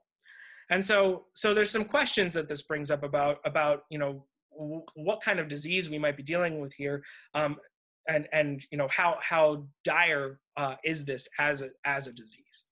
So just to kind of wrap up uh, this, we found that keratoplasticum and falciforme were both present at Florida sea turtle nesting sites. They're the only members of the Solani complex present at those sites. Um, there's a significant difference in the diversity of Fusarium species at the species complex level inside versus outside of the nests. And the FSSC, FK and FF, Keratoplasticum and falciforme, dominated completely inside of the nests. Um, and then finally, the presence of FSSC isolates doesn't seem to be associated with hatching success, but we definitely need to sample more sea turtle nests um, to tell. And so um, that's how I'm trying to convince funding agencies to send me back to the Florida beaches to sample. Um, so we need more sampling to be done there. Um, this wraps up my talk. Uh, so, so these are just my acknowledgments, and I just wanted to also highlight um, uh, the only reason I was able to do this project, the Sea Turtle project, was because I was able to crowdfund it on experiment.com. And so you may be familiar with crowdfunding sites like GoFundMe and things like that. Um, there are actually crowdfunding sites that are dedicated strictly to science projects. Um, and so uh, experiment.com is one of those. Um, uh, and I, I highly re- recommend looking it up. Uh, there's lots of cool projects out there, people looking for funding for. Um, and I was able to get the funding I needed to pay for uh, the, the field sampling equipment and, and uh, media for culturing and all that stuff that I needed to get down to Florida, drive around Florida, um, and get back from Florida. And so um, with that, I will open up uh, if there's time for, for any questions. Yeah, there's plenty of time for questions, but let me just uh, start with uh, commending you for what was a rather esoteric subject delivered extremely well. I wish Thank that you. I had more college professors with your talent and ability uh, during my many times spent in many classes learning many things that I never really got as much as I got from this talk. Thank you. I appreciate that. So, Yeah, uh, there were several people in the comments as you were talking going, this is fascinating. So, yes. so he definitely hit whatever nail it was on the head. Thank you. So, uh, questions uh, from among those who were participating? Um, so there, there was one question um, in the comments. Um, Mitch had asked, are sea turtle eggs composed of keratin? That's a really great question, actually, um, because it, it ties into some some directions I'm going with this research. Sea turtle eggs are actually uh, the the shell of the egg is calcium carbonate, um, and so uh, what's what's really interesting to me is we're finding these two species, FK and FF, with the sea turtle eggs Uh-oh. that are not in the nests. And the question is why? Why are these two species associated with the sea turtle eggs, but not those other species? And I personally think this is just a hypothesis. I, I think it might have something to do with the ability of these two species to get through that calcium carbonate shell. Some sort of chemical reaction, some sort of enzymatic production, something that these kerat- the keratoplasticum and falciforme does might be able to break through um, that shell. And, and one of the one of the kind of things I run with as a as a comparison, keratoplasticum I told you lives in the built environment. It lives in sink drains. Um, and and if you live in an area like I do uh, with very hard water, you know you need to descale your Keurig and descale your teapot and descale everything because of the calcium buildup um, uh, from from the water. And I'm wondering if it has something to do with the ability of these fungi to utilize or mobilize calcium um, and get it away from the eggshell so it can weaken the eggshell and get into the egg, maybe something like that. Um, but that's something that needs to be explored still with these fungi. So, good question. Yeah, Rich had a question about the impact of climate change on the fungal diseases. And I was noticing that Rookery Bay, which is the southernmost site on your on your three sites seem to have a slightly different skew on some of the measures. Mm-hmm. Sure. And so so to address the the climate change uh, question, yeah. So so sea turtles are are facing a barrage of other problems beyond you know fusarium diseases um, because of climate change. Um, one of the most notable things that I think shows some evidence that that nests are being impacted by a changing climate is that um, sea turtles, uh, their sex ratios are determined by the temperature of their nest. And so the higher the temperature, so it's it's around like the the nice medium point is like I think it's like 32 to 35 degrees Celsius, something in that range, um, where you get 50% male, 50% female hatchlings. Recently, um, hatchlings in, in many different locations, um, and I think some in Australia beaches have been documented, and I think some Florida beaches as well, um, the hatchlings are coming out 100% female, mm. um, which implies that the nests are getting warmer uh, during the hatching season. Um, and so, and that's coming from a, a, a, warming, a warming climate. And then throw in things like um, sea sea level rise. So I told you the shells of these uh, of these um, sea turtle nests or sea turtle eggs are made of calcium carbonate. But um, one of the you know stories behind um, sea level rise and well, it was really uh, ocean acidification is that um, as the oceans acidify, the creatures that create their shells and structures out of calcium carbonate, like corals and things like that, um, are having a harder time because the acidified oceans are dissolving those shells. Well, calcium carbonate is what makes up the outside of a sea turtle shell. So if the sea levels are rising, meaning that you're seeing a, a more frequent um, more frequent tidal inundations. So these sea turtle nests are being inundated with water more frequently, and that water happens to be more acidic on average. It's it it I think it would be a you know a good bet that that might be impacting the structure and the overall you know health of those sea turtle eggs inside of the nest.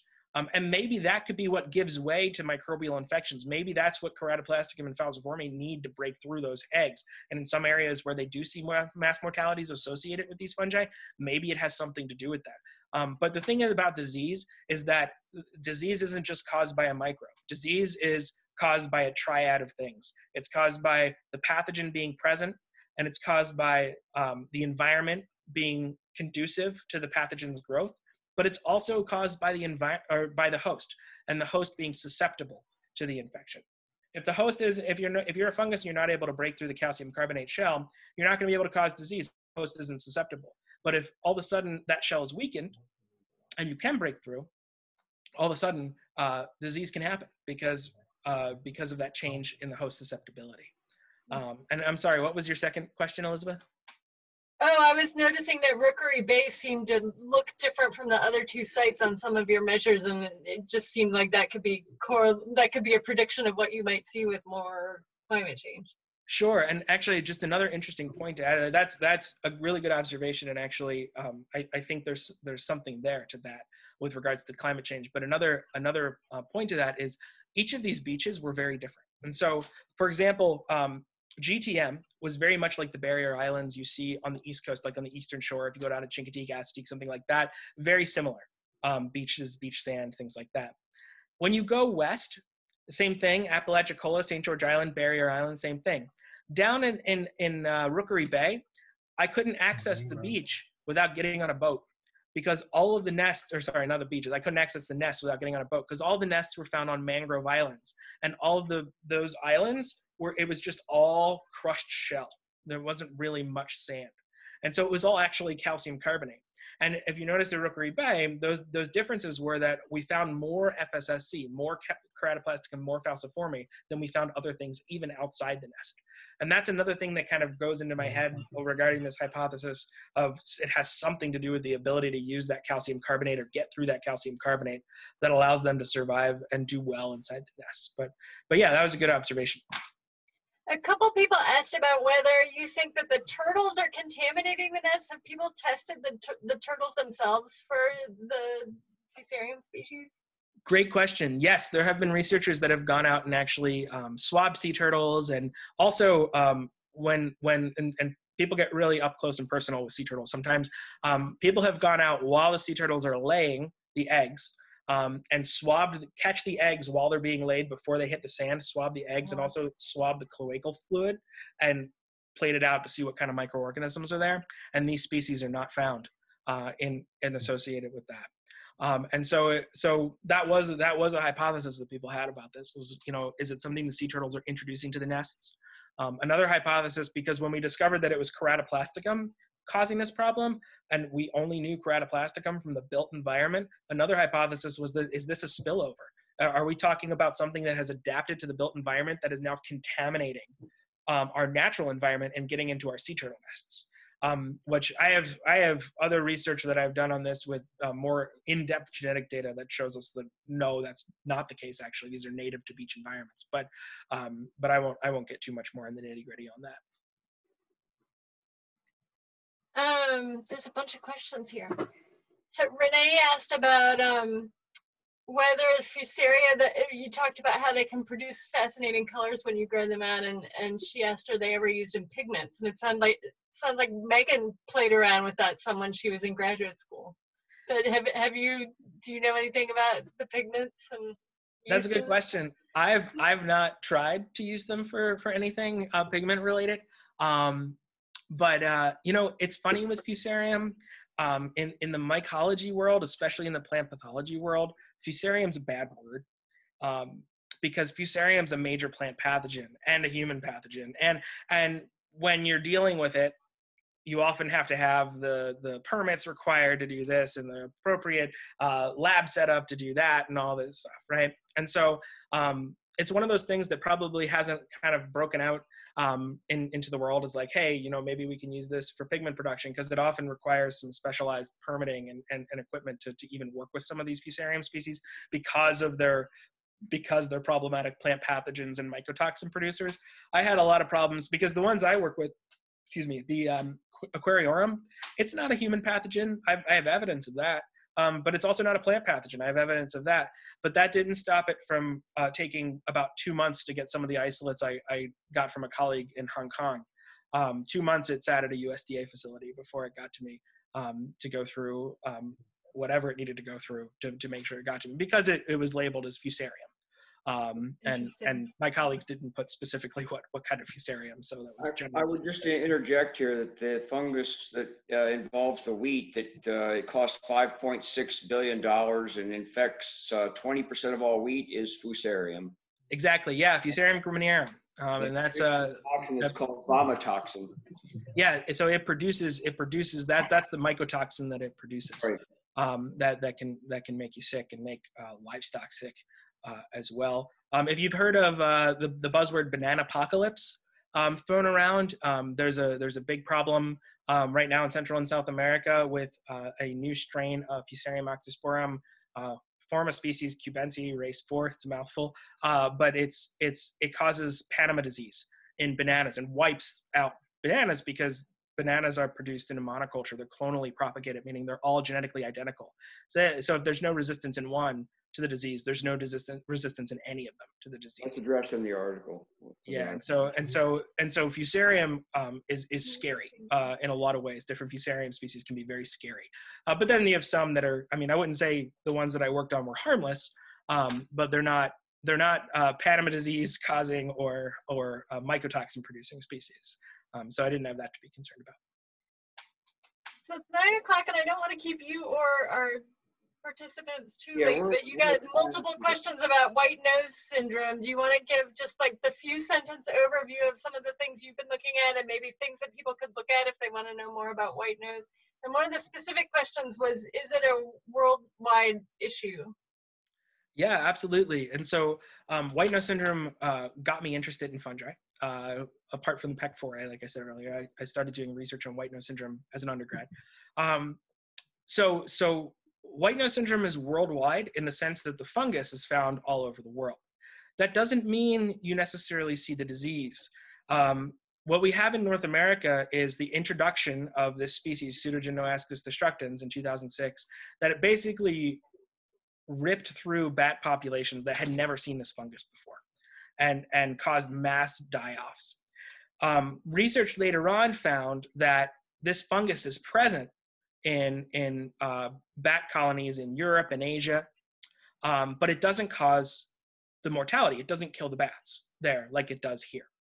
Um, there's a lot of questions about why. Some of it's genetic, potentially, with the bats, immunity wise. Some of it's behavioral, could be behavioral. Some of it could just be size. We see here in the United States, the bats that are heaviest impacted are the smaller ones, the little brown bats. The larger bats, they've been impacted, but it's not as bad as what you see with the little brown bats. And, and a lot of that has to do with how the fungus actually kills the bats. Um, we're not talking about um, something where the fungus itself is it's hard to parse through this. It's it is directly killing the bats, but it's also not. It's it's sapping the nutrient reserves from hibernating bats and sapping out the water, and it causes the bats to wake up from torpor or hibernation in the middle of winter. And that is hugely energetically costly for bats to do. In fact, if you go out into a cave, which you can't do right now for a number of reasons, but um, if you if you were to take a bat off a roost doing research on bats and you took a, a bat that was hibernating and and you tried to wake it up, it would take probably 20 to 30 minutes for that bat to actually come out of hibernation. Like it takes a lot of energy for them to do that. So not only do they have no nutrient reserves or water left over thanks to the fungus, but now they're using energy to wake up because they have to go get more nutrients. And in the dead of winter, you're not going to find any. You're not going to find any bugs flying around. You're not going to find any non-frozen water to drink. And that's what leads to the death of a lot of the bats.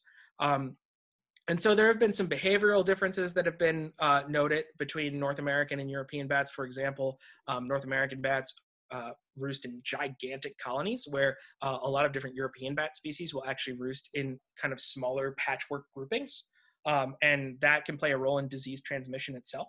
Um, so the, the fungus will spread really quickly through a colony of 10,000 bats. And in fact, in uh, early, I think 2010, 2011, um, when I was working on this, um, there was a cave in Bucks County, Pennsylvania, that had a colony of like 10,000 little brown bats that in one winter was decimated to like less than 10 individual bats um, by this fungus. So it can it can really rapidly rip through uh, a colony of bats close together. Um, a little bit about what we're uh, what I've done with white nose syndrome and what we're working on. So um, I've been working closely with both a colleague of mine and, and actually someone who I uh, who taught me mycology in my undergrad, Dr. Barry Overton at Lock Haven University, and he's been working with fish and wildlife as well as uh, researchers at Temple University uh, on a potential um, not cure but tr- uh, environmental treatment, if you will, for caves and mines. Um, one of the tricky things about fungal diseases is that you can if you can cure the animal that's great but fungi live in the environment. They don't require these fungi don't require their host for survival. So if you cure a bat when you find a bat it's sick you you know take it to a wildlife rehab they cure the bat and then release it that bat's going to fly back into the cave and get reinfected you know?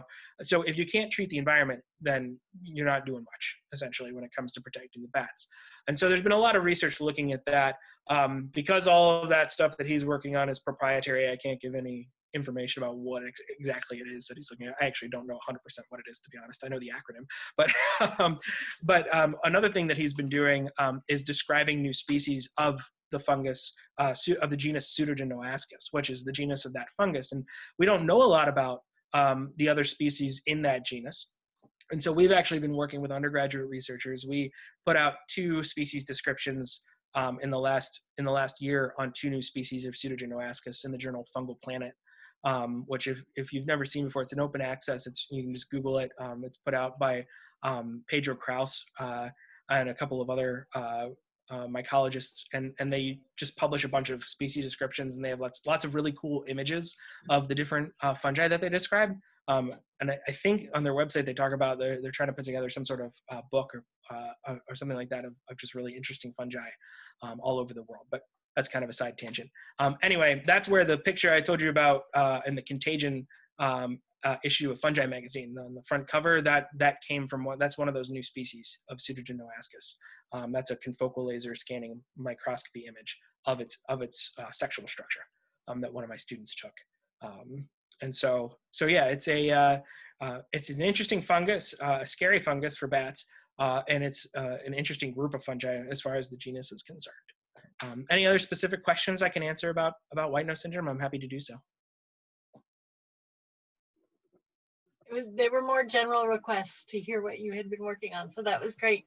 Um, I think the last one I'll hit on is just um, folks are asking if if um, there's a place where they can learn more about your research. If, if, do you have a website where you have things sort of collected, or and is there a way to follow what you do in the future? Absolutely. Um, and so my my I have a website. Um, I, I will warn you parts of it are kind of a construction website. So it's not quite fully fully completed but it's it's it's pretty much there. Um, and the website is is smythmycology.com um, smyth is spelled with a y. Um, and i'll just i'll see if i can just type it into the chat box here actually. Um, let's see if this if you just send it to tom. Uh, we can just include it probably in the uh, after notes sure. Yeah i can do that more effective sure. probably. Um, Oh, it looks like it looks like um, Tom already found it here. Oh, you did. There we I'll go. Just... yeah, and so um, I have I have uh, all the information um, about you know what I'm doing. Well, semi currently i'm kind of in the process of moving places so it'll be updated hopefully in the near future. Um, but on there if you ever have I'm, I'm happy to answer questions about you know anything fungal related of course. Um, so you know my, my email addresses are listed there. Um, the lock haven email address will expire soon as i leave lock haven but the gmail address will will be forever persistent so um, from place to place. Um, but they're both listed on that homepage there. So um, if people have questions anything like that always free to uh, reach out. I'm happy to to to answer them Excellent. Well, okay. thank you so much. I think that, uh, yes, thank you very much, Chris, for that was a wonderful presentation on a subject that I don't think we have ever heard even one, one bit of in the 15 years that I've been involved with this, 20 years actually. So with that, uh, I don't think there's too much we can add to uh, the quality of that particular approach to what we might do in the future. So I guess uh, we're going to sign off uh, for the June Zoom.